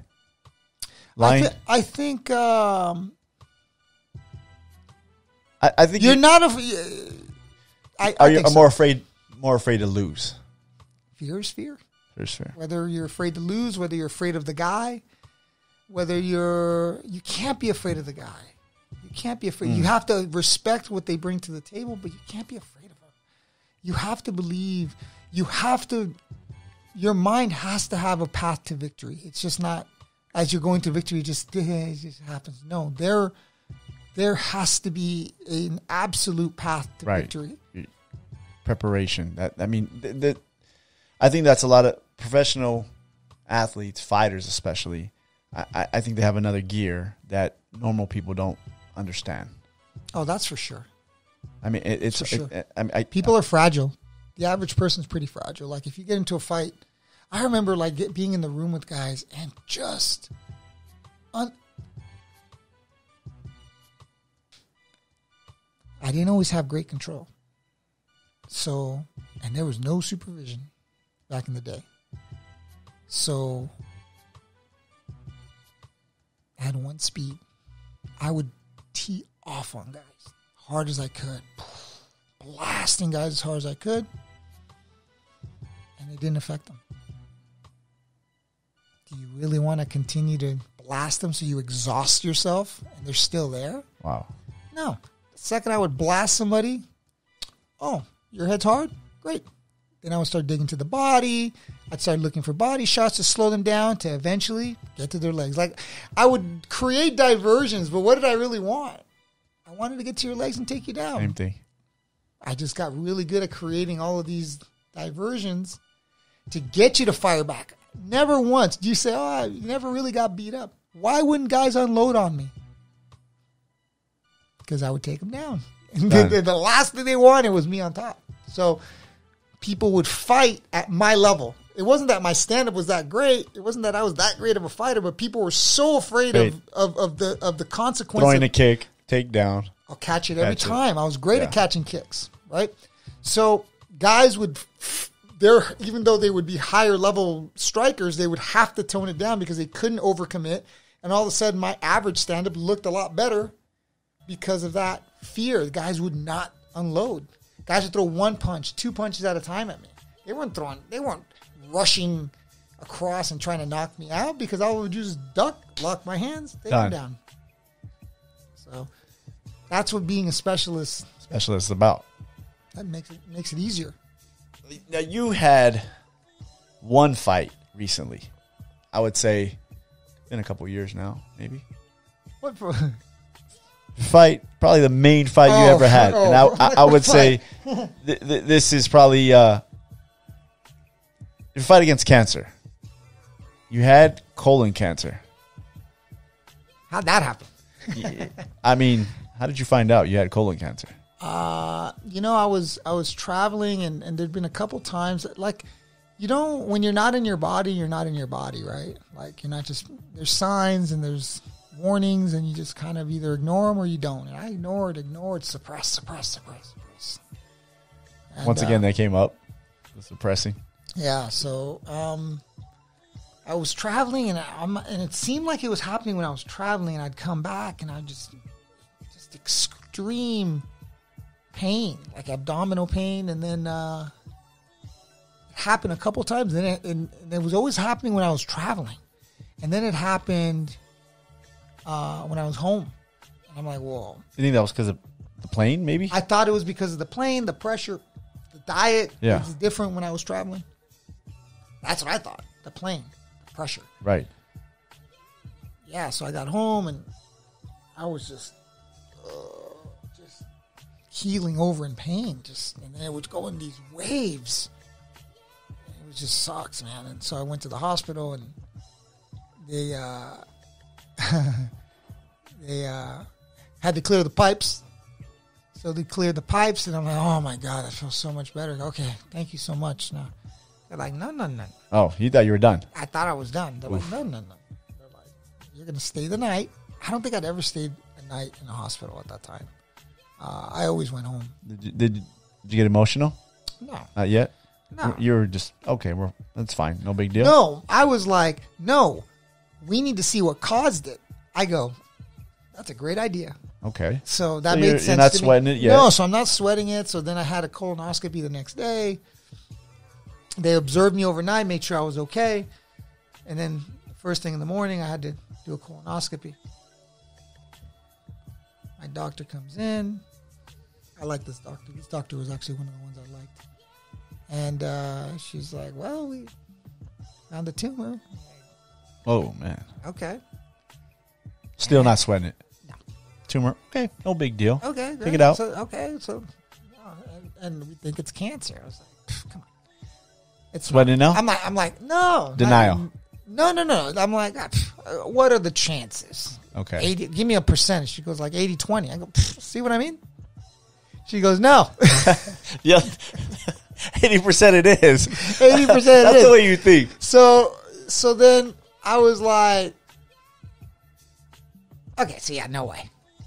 Still. Um, Still. this was like a. I went in there like on a Saturday afternoon. Is, is, is this the, the the wrestler emotion, uh, fighter emotion coming up? There like was no. I didn't understand how you can get it. Like it made no sense. you were a healthy dude. Yeah, I was a healthy guy. So I thought. So so went home and they're like they took a biopsy. They sent it out to the lab. Well, we'll get the results in, like two days. So Monday, Tuesday I get the call. They're like, yep. And I'm like, okay. So how do you fix it? That was the first thing. How do you fix it? That was literally the first thing I said. Well, you have to have surgery. they gloss over the surgery part. That surgery sucks. It, Yeah. It is You were beat up. highly painful. Highly painful. That was I've had 20 surgeries in my life. At least. At least 20. 17, 18, 20 surgeries, 22 surgeries, somewhere in that ballpark. Man, this one was pain wise, this one was So you're still you're still okay. Surgery. No. surgery. No I've had 20. No I've big had deal. 20, no big deal. So I woke up and you know, I had to walk, and it was just Did they get it all out? yeah. They just they yeah, but you know your your colon goes uh, ascending, transverse, and descending. So it was on the descending side, right near the end. Problem was Probably the worst part, right? Or the worst place it could be. Well, it could be. It could have been because they're like, if we're not able to, because of the positioning of my hip, if your hip is too narrow, you're going to have to have a colostomy bag for the rest of your life. Don't tell me. Wrestling, putting your hips down, made it too narrow. I don't know. No, no, no. So, Okay. well, I don't have a, I don't have a bag. So, it, so I ended up, uh, the first thing, the second I woke up, Everything's I checked to see if I had a bag. okay. That was my biggest concern. That's scary. So I get up and it's, recovery is rough, man. A couple weeks, a few weeks. So they get it out, they reconnect it. They reconnect it. And You're uh, you're you're thrashed. I'm pretty thrashed. Are you worried at this time? No. Still not.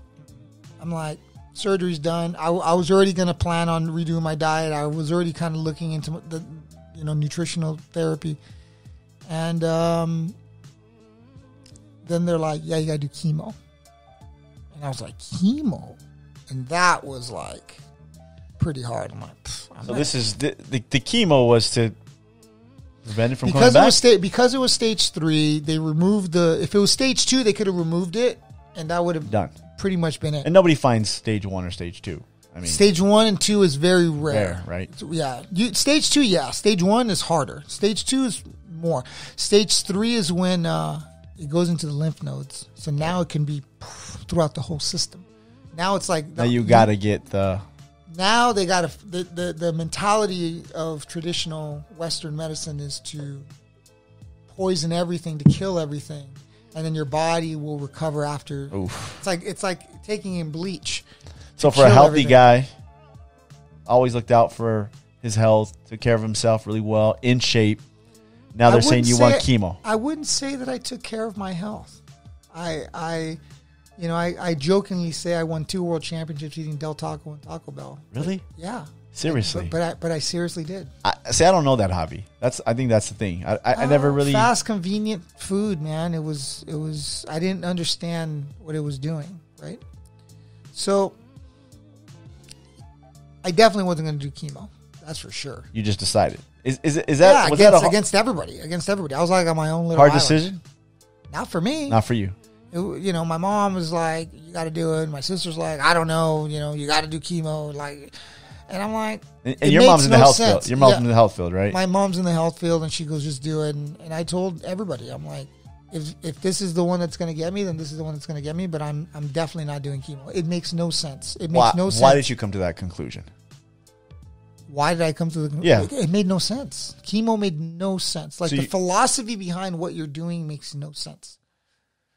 You're, you're, you're, if you survive the poisoning, It's you might live. You might live. Oh, So I'm like, well, what are the chances if I do the chemo that it comes back? It was like 60 40 that it was going to come back. I'm like, well, why would I do that? right. If they told me like 95% that it wasn't going to come back, I probably would have done it. But I'm like, the odds were not that great. It was almost 50 50 to, to begin with. And we're talking about chemo for how long? Six months. Six months. So that's it's a lot of treatments. Low dose chemo is what they wanted to give me. So you tell your family, friends, anybody that's around you, I'm not doing it. Everybody tells me to do it. They're like, I'm like, if this is the one that's going to kill me, then this is the one that's going to kill me. But I'm not gonna, I'm not gonna, I'm not gonna do chemo. So- So it made no sense. You decided not to do it. Was that before you found the Gerson I- therapy I- diet I, deal? I, I found Gerson. I well, I came across Gerson several Gerson. years before, and I'm like, oh, they cured cancer already. So were you already thinking of that in your head when you decided? No, Are you that was like, in the I'm- hard drive. God planted that seed in the hard drive, so I knew it was available. So you already knew. That's kind of weird. How did you? What attracted you to that back then? Food- Before, food, food. I had to start changing my diet. I had to. I, I, I wasn't performing well. I so you were terrible. looking at stuff and, and you found that. and I found that. I stumbled across it. I was like, oh, that's nice. They cured cancer, no problem. Poof. Okay, so if I get cancer, See, 'cause so I- I, already kind of. But I think that's pretty crazy that you made a decision. Most people have an alternative off the off the bat, right? They go, "I'm not going to do chemo, but I'm going to do this." You just said, "I'm not doing chemo. That's it. It's done. 60-40. If I'm going to if I'm going to die, I'm going to die." I always thought it was the other. I always thought you. I knew that Gerson was there. so you knew it was there, Yeah, I already knew it was there. and so but but did you make the decision like, okay, I'm not doing chemo, but I'm going to do this, or did it come I after? no, I, I I knew I was going to say I'm not going to do chemo. This is a good possibility, and I'm going to look into this kind of a treatment, a holistic kind of heal your body, not poison your body treatment. Which to most people is just it, they don't think it Bogus. works. Yeah. They, they don't think it works, and and I think most things don't work until you understand that Gerson is a system. And the second I saw that it was a system, I'm like, it's going to work. so the the Gerson thing. I- think about that and and tell well tell everybody a little bit about Gerson. The, the, what, the therapy. Well, the- what, a, a small breakdown because I have a I have a question about Okay, that. Okay, so so people need to understand. I'll, I'll give you the, the, the, the, big idea. I'll try to make it as short as possible, which is tough for you, which is tough for me. even during, even during class. Yes. Um, cancer comes down to two things toxicity and deficiency. Charlotte Gerson says that before she passed. That is what cancer is. You create a toxic environment through the air you breathe, through the food you eat, through the water you drink, through your emotional uh, toxicity, through um, Chemicals, whatever. chemicals, your, your shampoo, your soap, the oils you put on your skin. The, Everything the- has a cancer warning. Everything. Has a cancer warning on it. Yeah, fluoride in the toothpaste. Walk into a restaurant. There's a little sign Ev- right there. everything that you touch that's in a box, in a bag at the grocery store, it's all poison. It's all poison, and the levels of poison there it vary it's wild. based on based on um, what chemicals and what ingredients are actually put in the food. Whether it's food coloring, whether it's all kinds of crap that people don't even know what they're eating, but it's good. Yeah. So you have toxicity. Well, your body can can get rid of some toxins. It's filtered through the liver, right?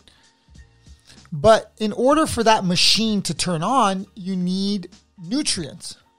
The other half of the toxicity is deficiency. So now you're eating nutrient depleted food. The food that you eat, the, the soil is not restocked. Um, the foods are nutrient deficient but high in fats and salts. Salt cr- changes the pH balance of your body, which makes you acidic, which breeds a ca- cancer breeding ground. Um, so the nutrient deficient foods, your food, you're not getting enough nutrients in the food, so you tend to eat more. There goes your weight. So your weight goes up because your body's not starving for food, it's starving for nutrients. It's starving mm. for high nutrient food so that you can feed the machine so that you can heal your body and you can turn your pH from acidic to alkaline. When you explain it like that, it makes sense. It's just putting good stuff into your body. and, and keeping out the bad and getting rid of what's in and understanding how to what to put in and how to pull out. Okay. So people, I tell people all the time, you can work out hard, you can do all kinds of crazy stuff, but it's gonna it, when you're young. It, it, Cam over here goes running every day for a month.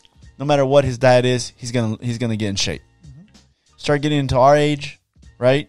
Uh, you have to change your diet, and I tell people all the time, it's not just the exercise part; it's more the diet part. It's Like, a lifestyle it's a lifestyle. Because it's not just the diet. Right. If you have toxic people around you that are constantly draining you and constantly you're having emotional instability, which and is a lot. Your mind, that's, the mentality. that that will make you sick. with the Gerson diet therapy, and you've told me where it's just juices of It's a lifestyle. it's a lifestyle. I mean, I think I've told you this before. I couldn't do it, honestly, and I'll, and I'll, and I'll tell you why. Because I seen how disciplined you were with this stuff. I mean, it's it's it was ridiculous. Twelve juices a day, um, Four coffee enemas a day. four coffee enemas a day. Uh, it, it, it was it was just too much. I mean, nothing other than that. Which fighting for your life. for how many months?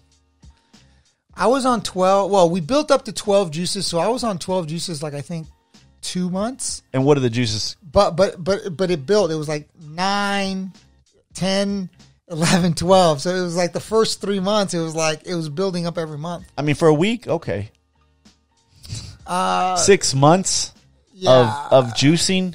you got to understand that um they they tell you this is what they tell you they don't tell you this they don't tell you that you got to stay on it for the rest of your life they tell you two years yeah well some people need two years of that intensive 12 juice 13 juice a day schedule in order to get their body's natural healing mechanism to kick on right it takes them that long it took my body's mechanism like two months So you were on it.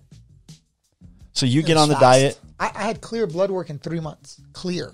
My in four months when I went in for my scheduled oncology appointment, but my oncologist told me you're committing suicide. I go, we'll see, bro.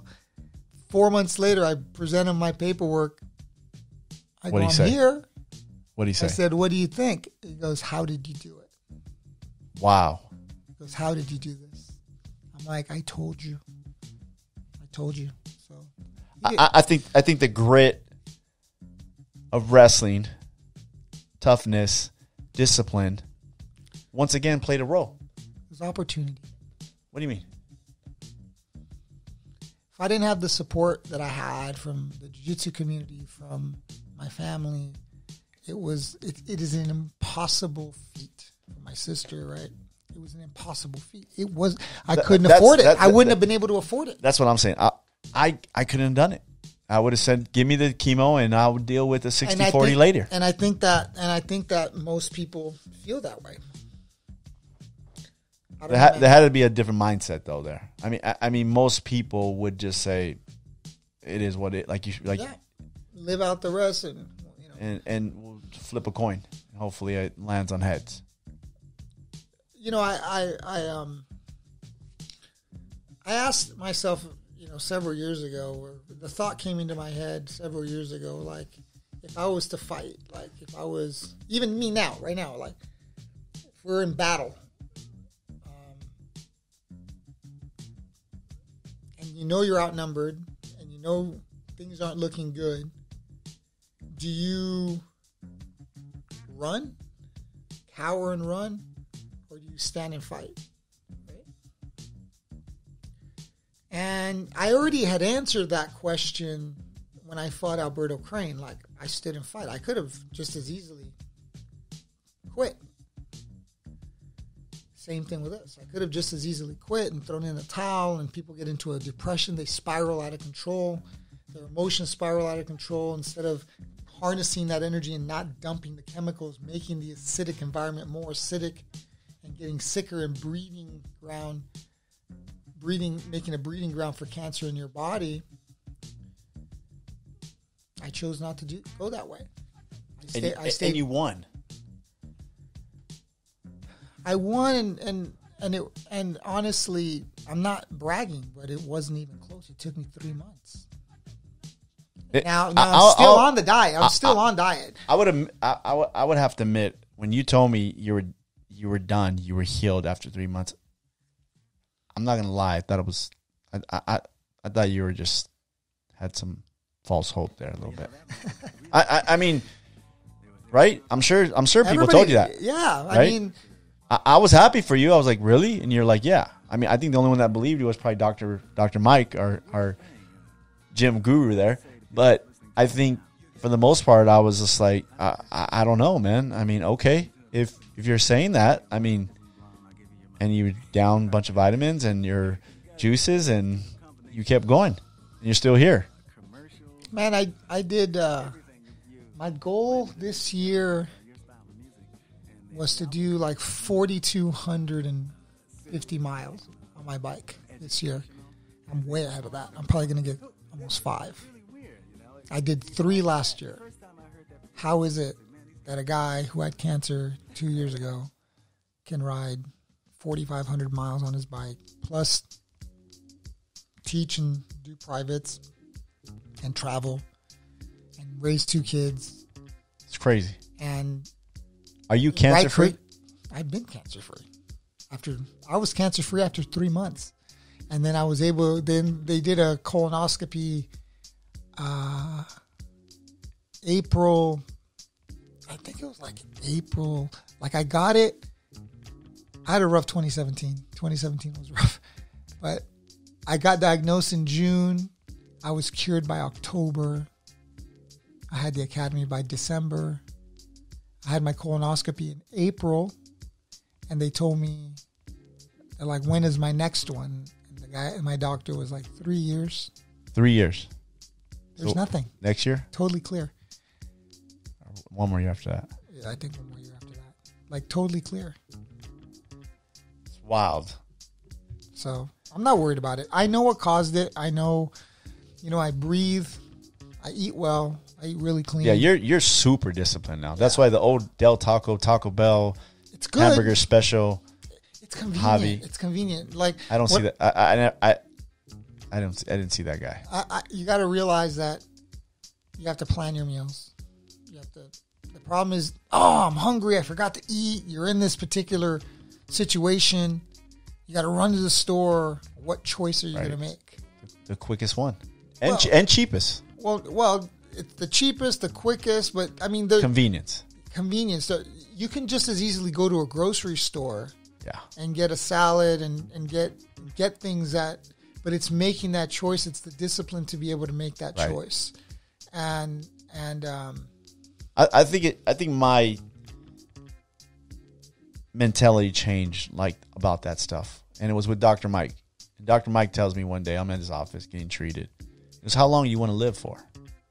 I don't know. My grandpa's like 80. I live in my 80s. He goes, "Why not 100?"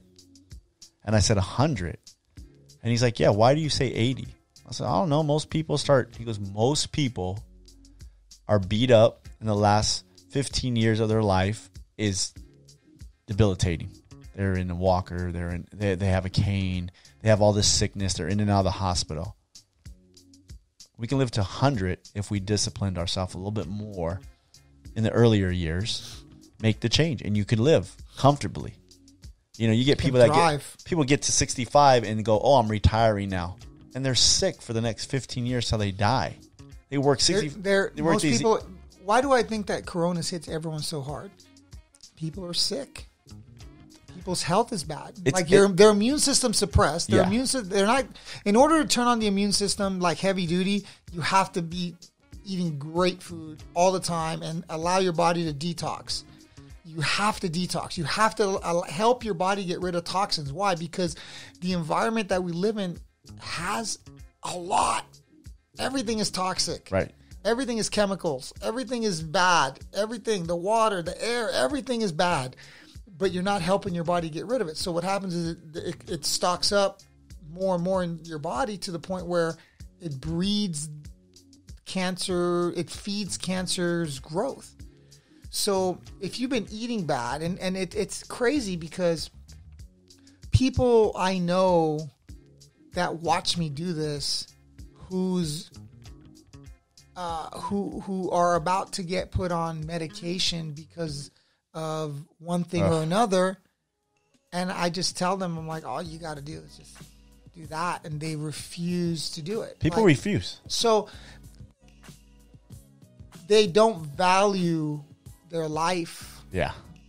and they don't value what impact they're going to have if they're gone. Later. No, because they're not going to be. Oh, if they're gone, they're gone. Well, they have the impact on their on their family. Their family Yeah, ends up having to take But they don't have to deal with that. and then and then they're yeah they, that's right they You don't understand have, what I'm saying? I get it. They don't understand the aftermath that happens after they they're gone prematurely and the emotional that has the impact that's having on other people. It's a it's, it's a quite a selfish attitude because they really don't care. They're just gonna they're just gonna run it till the till the wheels fall off, right? yeah now now I got I'm happy you're cancer free you're uh every time I roll with you since you've been cancer free it's been worse and worse for me Getting stronger. getting again. stronger back I used to win some small little battles now uh, maybe once in a while but but uh I'm glad you're cancer free but this this this podcast is called Street Gospel we talk a lot about things in the street and, and, matters out there but the gospel now when I went to your gym I knew an old training partner of yours from the millennia days Pomona days he he knows I'm a big Christian believer. This guy tells me Javi's a good dude, good good teacher, but you know he's an atheist, right? And I said an atheist, and he goes, "Yeah, hardcore, bro, hardcore." And I'm like, "Nobody's hardcore, dude. Something, something." No, no, no, hardcore. Trust me, bro. I go to your gym, start training. You know, I realize, well, maybe not hardcore, but there was no sense of God or anything up there. Um, No. you tripped me out one day when you came up to me, and this is after the the, the, the cancer and everything, all the other issues you had in 2017. We won't get into, right? Just so many things. Se- seven or eight life changing events. Yeah, just in, in one year. yeah, just just year, crazy year you had. Bad, nothing but bad stuff. A lot of people would give up. A lot of people would probably curse God. Um, you came up to me and you told me you found God. He found me. Tell me about that? Well, uh, the mind is very powerful, right? It can, you can listen to the voices that tell you to do bad things. You can listen to the voices that tell you to do good things.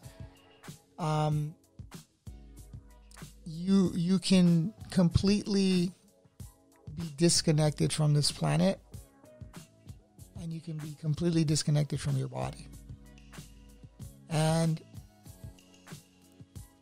so many things were were going wrong. Everything was going wrong. And there was nothing I can do. I had no control of anything. Which we had this uh, appearance of control when we don't have control of anything. Yeah. You can pray and, and try to look at happy a happy future and lay a happy future and And but I, di- I didn't have hope- that before. But Yeah. I, I didn't even understand what that entailed, right? All I knew was that I had hit a point where I guess you can say your low point. Like you just you just have nothing else. You have nothing else. And I was on FaceTime with my sister and um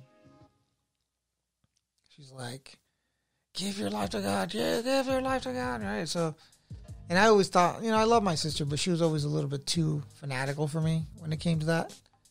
Um, and there's, I think the only way I would believe that there was something was to go through what I went through and to have the experiences that I had and the stories of, you know, um, purification, I guess you can say, and watching what I was doing, what was happening, and um, these are things that I'd never even heard of, in let alone Christianity. I thought it was more like uh, voodoo kind of stuff, where where those kinds of exorcisms and stuff and things like that that would happen. I wasn't, you know, but but when I experienced it myself, and I'm watching myself do this stuff, it was just it was way over the top. And I guess that's the only way that it was going to get proven to me because I was so far on the other side that it was so over the top and it took so much pain for me to come to the conclusion. It took so much pain because I suppressed and I endured and I that mentality got took me that tough mentality of took me so far down the physical. We can control what we can, you know, the physical when you when you don't have any control. And um, it was incredibly hard for me to accept even the help from my sister. I would always just want to do things on my own. I have always done things on my own, and to know that you can't do things on your own, and to know that whenever you need, he's there. And I didn't even know it there was things in my life where he for sure told me, and I, I, just thought I just had a great idea.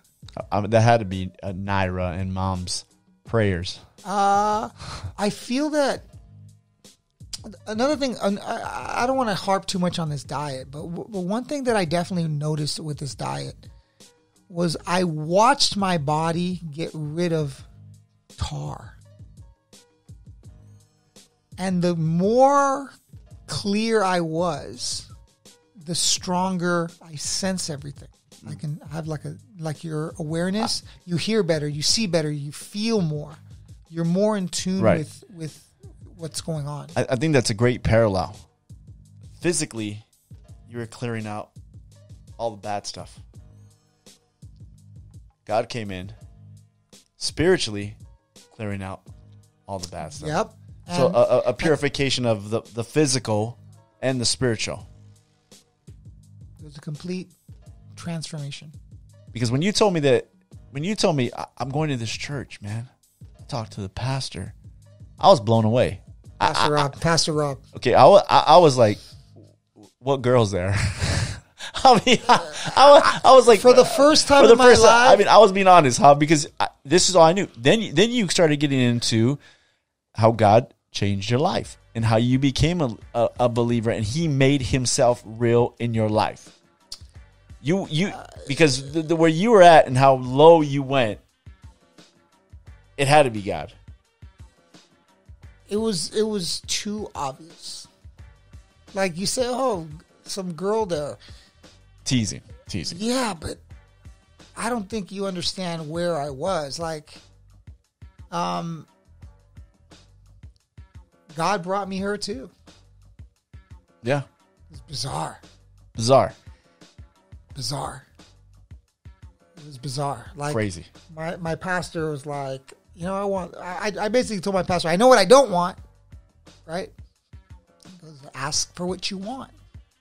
And I was like, like, what does that mean? He goes, you have to shop for a wife. I'm like, what does that even mean? Shop for a wife? Yeah. Be, Because par- you write be down- particular. He goes, you he goes, write down a list of everything you want, and he'll bring her to you.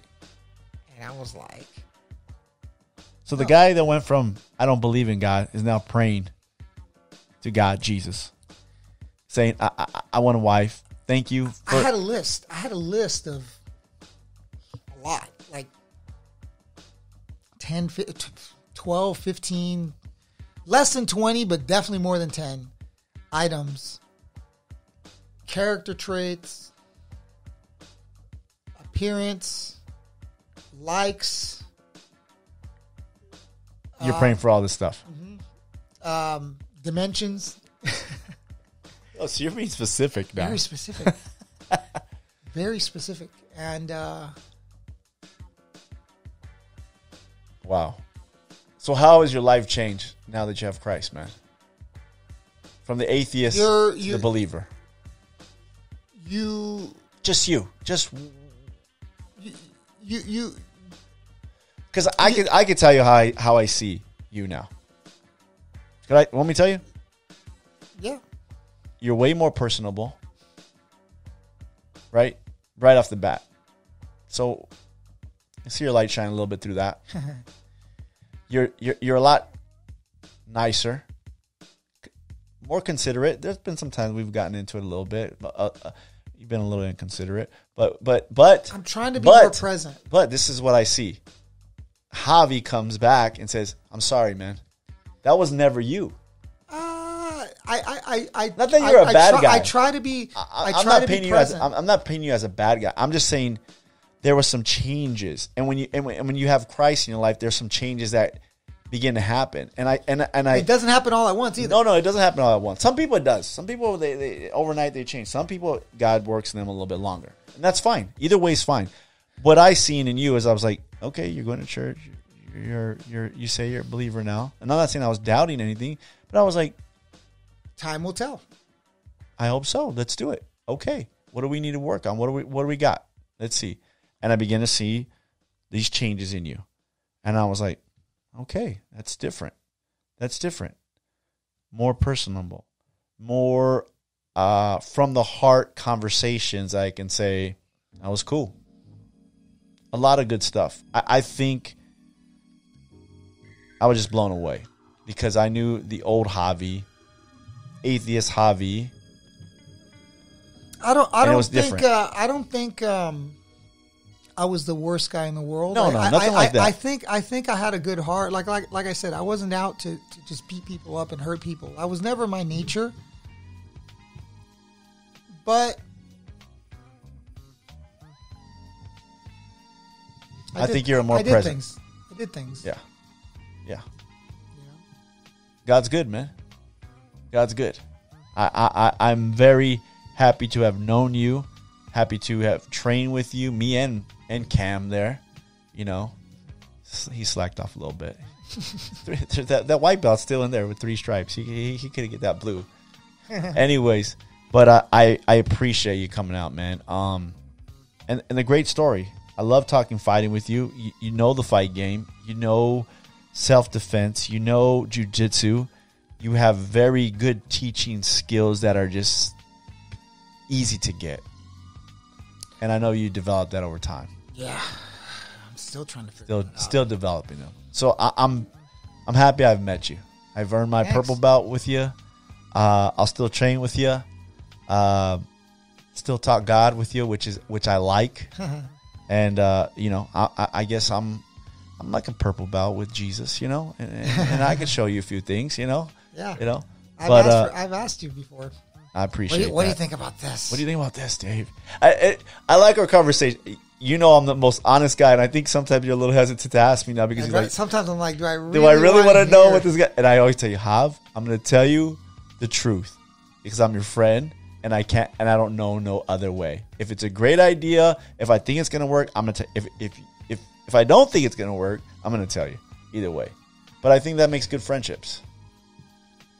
I mean, you could you could just blow smoke up people's butt, Always.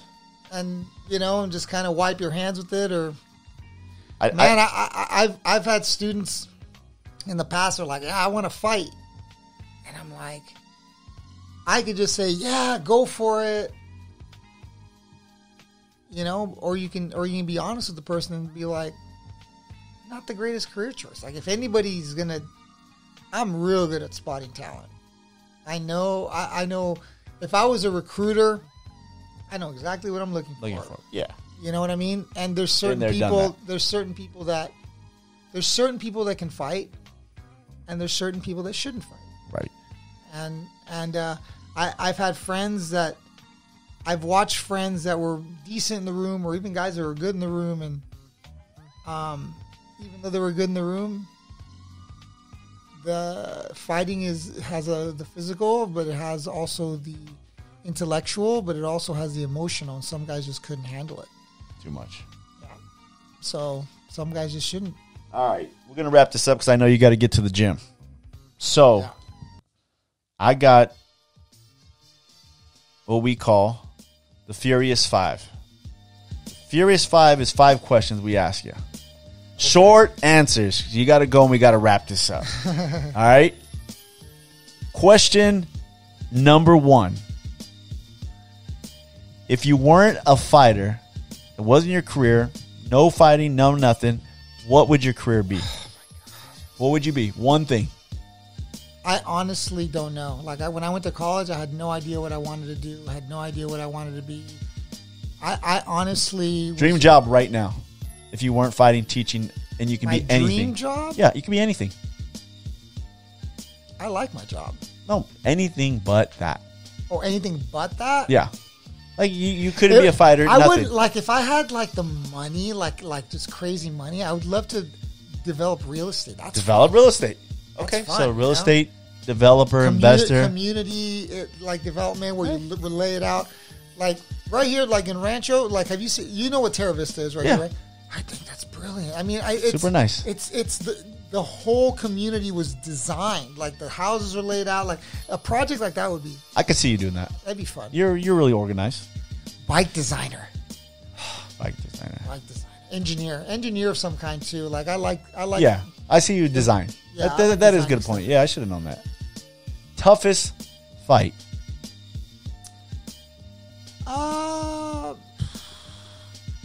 I, I I think the Mendes fight was tough in, in a sense where I had I had I had a couple tough fights I thought were tough. I thought the I thought the Mendes fight was tough because he ended up hitting me with a good shot in the third round that broke my nose. Really, the only punch he landed all fight, but it didn't land. Um, I fought a guy named Adriano Nazal who I underestimated and ended up having a tough fight. It was a tougher fight than I than I was ready for, I guess you can say. Like I thought I was going to blow through the guy. And then circumstantially, the Alberto Crane fight was tough. Tough. Yeah. Yeah. It was just, it was just tough to win. I, I just didn't realize I was in a no-win situation. You know what I mean? Right. Until I was there. Cam said, "This is Cam's question. Question number three. He said, "You can fight anybody, dead, alive, any weight class. Who would you have fought?" Uh, I actually did fight the guy I wanted to fight. Uh, Jens Pulver. Jens Pulver. Yeah, I wanted to fight Jens for years, and uh, just ended up fighting him, you know, in the WEC. But uh, I'd always, I'd, I'd always wanted to compete against BJ Penn again. BJ Penn. Yeah, That'd be that'd be a good one. yeah. Maybe we could do like a like a like an exhibition fight, like Roy Jones and Tyson. You know what I mean? We'll, we'll, we'll, we'll do like- We'll do there's no exhibition. exhibition. There's no the, exhibition the there. senior tour. They're not gonna We're be throwing we're- light We're gonna do. I, they're they're not right. If you were in an ex- exhibition with B, with BJ right now, it'd get heated at one point in time, right? I don't get emotional. I don't get. No, no. I mean, it, you. Hob, I don't. I'm not Hob, gonna lose. I, I, but I've sparred with you and gave you a good shot, and you give me two back. So that's what I'm talking about when it gets heated. If you, if you get hit in the, a good shot, you're coming back with something else. Fighters just do that. you know, I, I, I was never known to be a brawler, but I brawled in the room. I, I, I had no problems brawling. But you don't It's- think it's a, that- it's a matter of you don't want to lose. I don't want to lose. But you don't think that it, if if we set up something and it was you and BJ, at one point in time it wouldn't get like, oh, this is just an exhibition, but th- then it'd get a little real in some points. Yeah, I'm not going to lose. Yeah, it has to be right. That's what I'm saying. We're not baking cupcakes. That, that's why Tyson, Roy Jones, it, at once at some point in time, somebody's going to hit somebody, and it's going to get real. Right? Okay. You don't want to lose, man. It's too much ego. Question number four. Big Star Wars guy. Cam knows how big of a Star Wars guy you are. I, I'm, I'm familiar with the Force. You use it all the time. The Force is real. Force is real. I like that choke that you do using the Force. okay? Trap your arms and You can be any Star Wars Darth character. Vader. Vader. Why? Force. He was the best character by far. Like I, I, I thought you'd be more Jar Jar. that's Cam. I, I, I, I was saying either uh, uh, uh, the Mandalorian. What's his name? Uh, Boba Fett. That's what I was thinking you would A be. bounty hunter. You know, a, li- a little stealth. Comes in, handles business, or you would be a great teacher. Han Solo, the Yoda. handsome, the handsome guy. Easy. and what's his sidekick? Chewie. No, the other one. Uh, not his sidekick. Lando. Lando. There you go. He's, Lando, Lando was smooth, man. Lando had great hair. Lando had the great hair and everything. He I had, got great he hair. had style, Me man. and Lando. Me and Lando. The thing about Lando is he didn't really match in the movie. I'm not saying that because he's black or anything. I'm just saying he was too cool. He- I- I- La- I was not the needed cool guy. Lando needed his own movie, right? Yeah. He, he was just too cool. I was not. I was not. Right. I was not the, the cool guy, man. That's for sure. So- I was the socially awkward guy. So Vader. I would I would have thought more Yoda, teacher. I'm getting there now, right? Okay. As I get a little bit older, I'm, I'm, I'm becoming more philosophical, but I'm still mean. I, I still have that switch. I can still turn that switch on. I, I don't generally, but it's there. Mellowed out a little bit. Yeah. Last question. I'll let you get out of here. What's one thing you fear?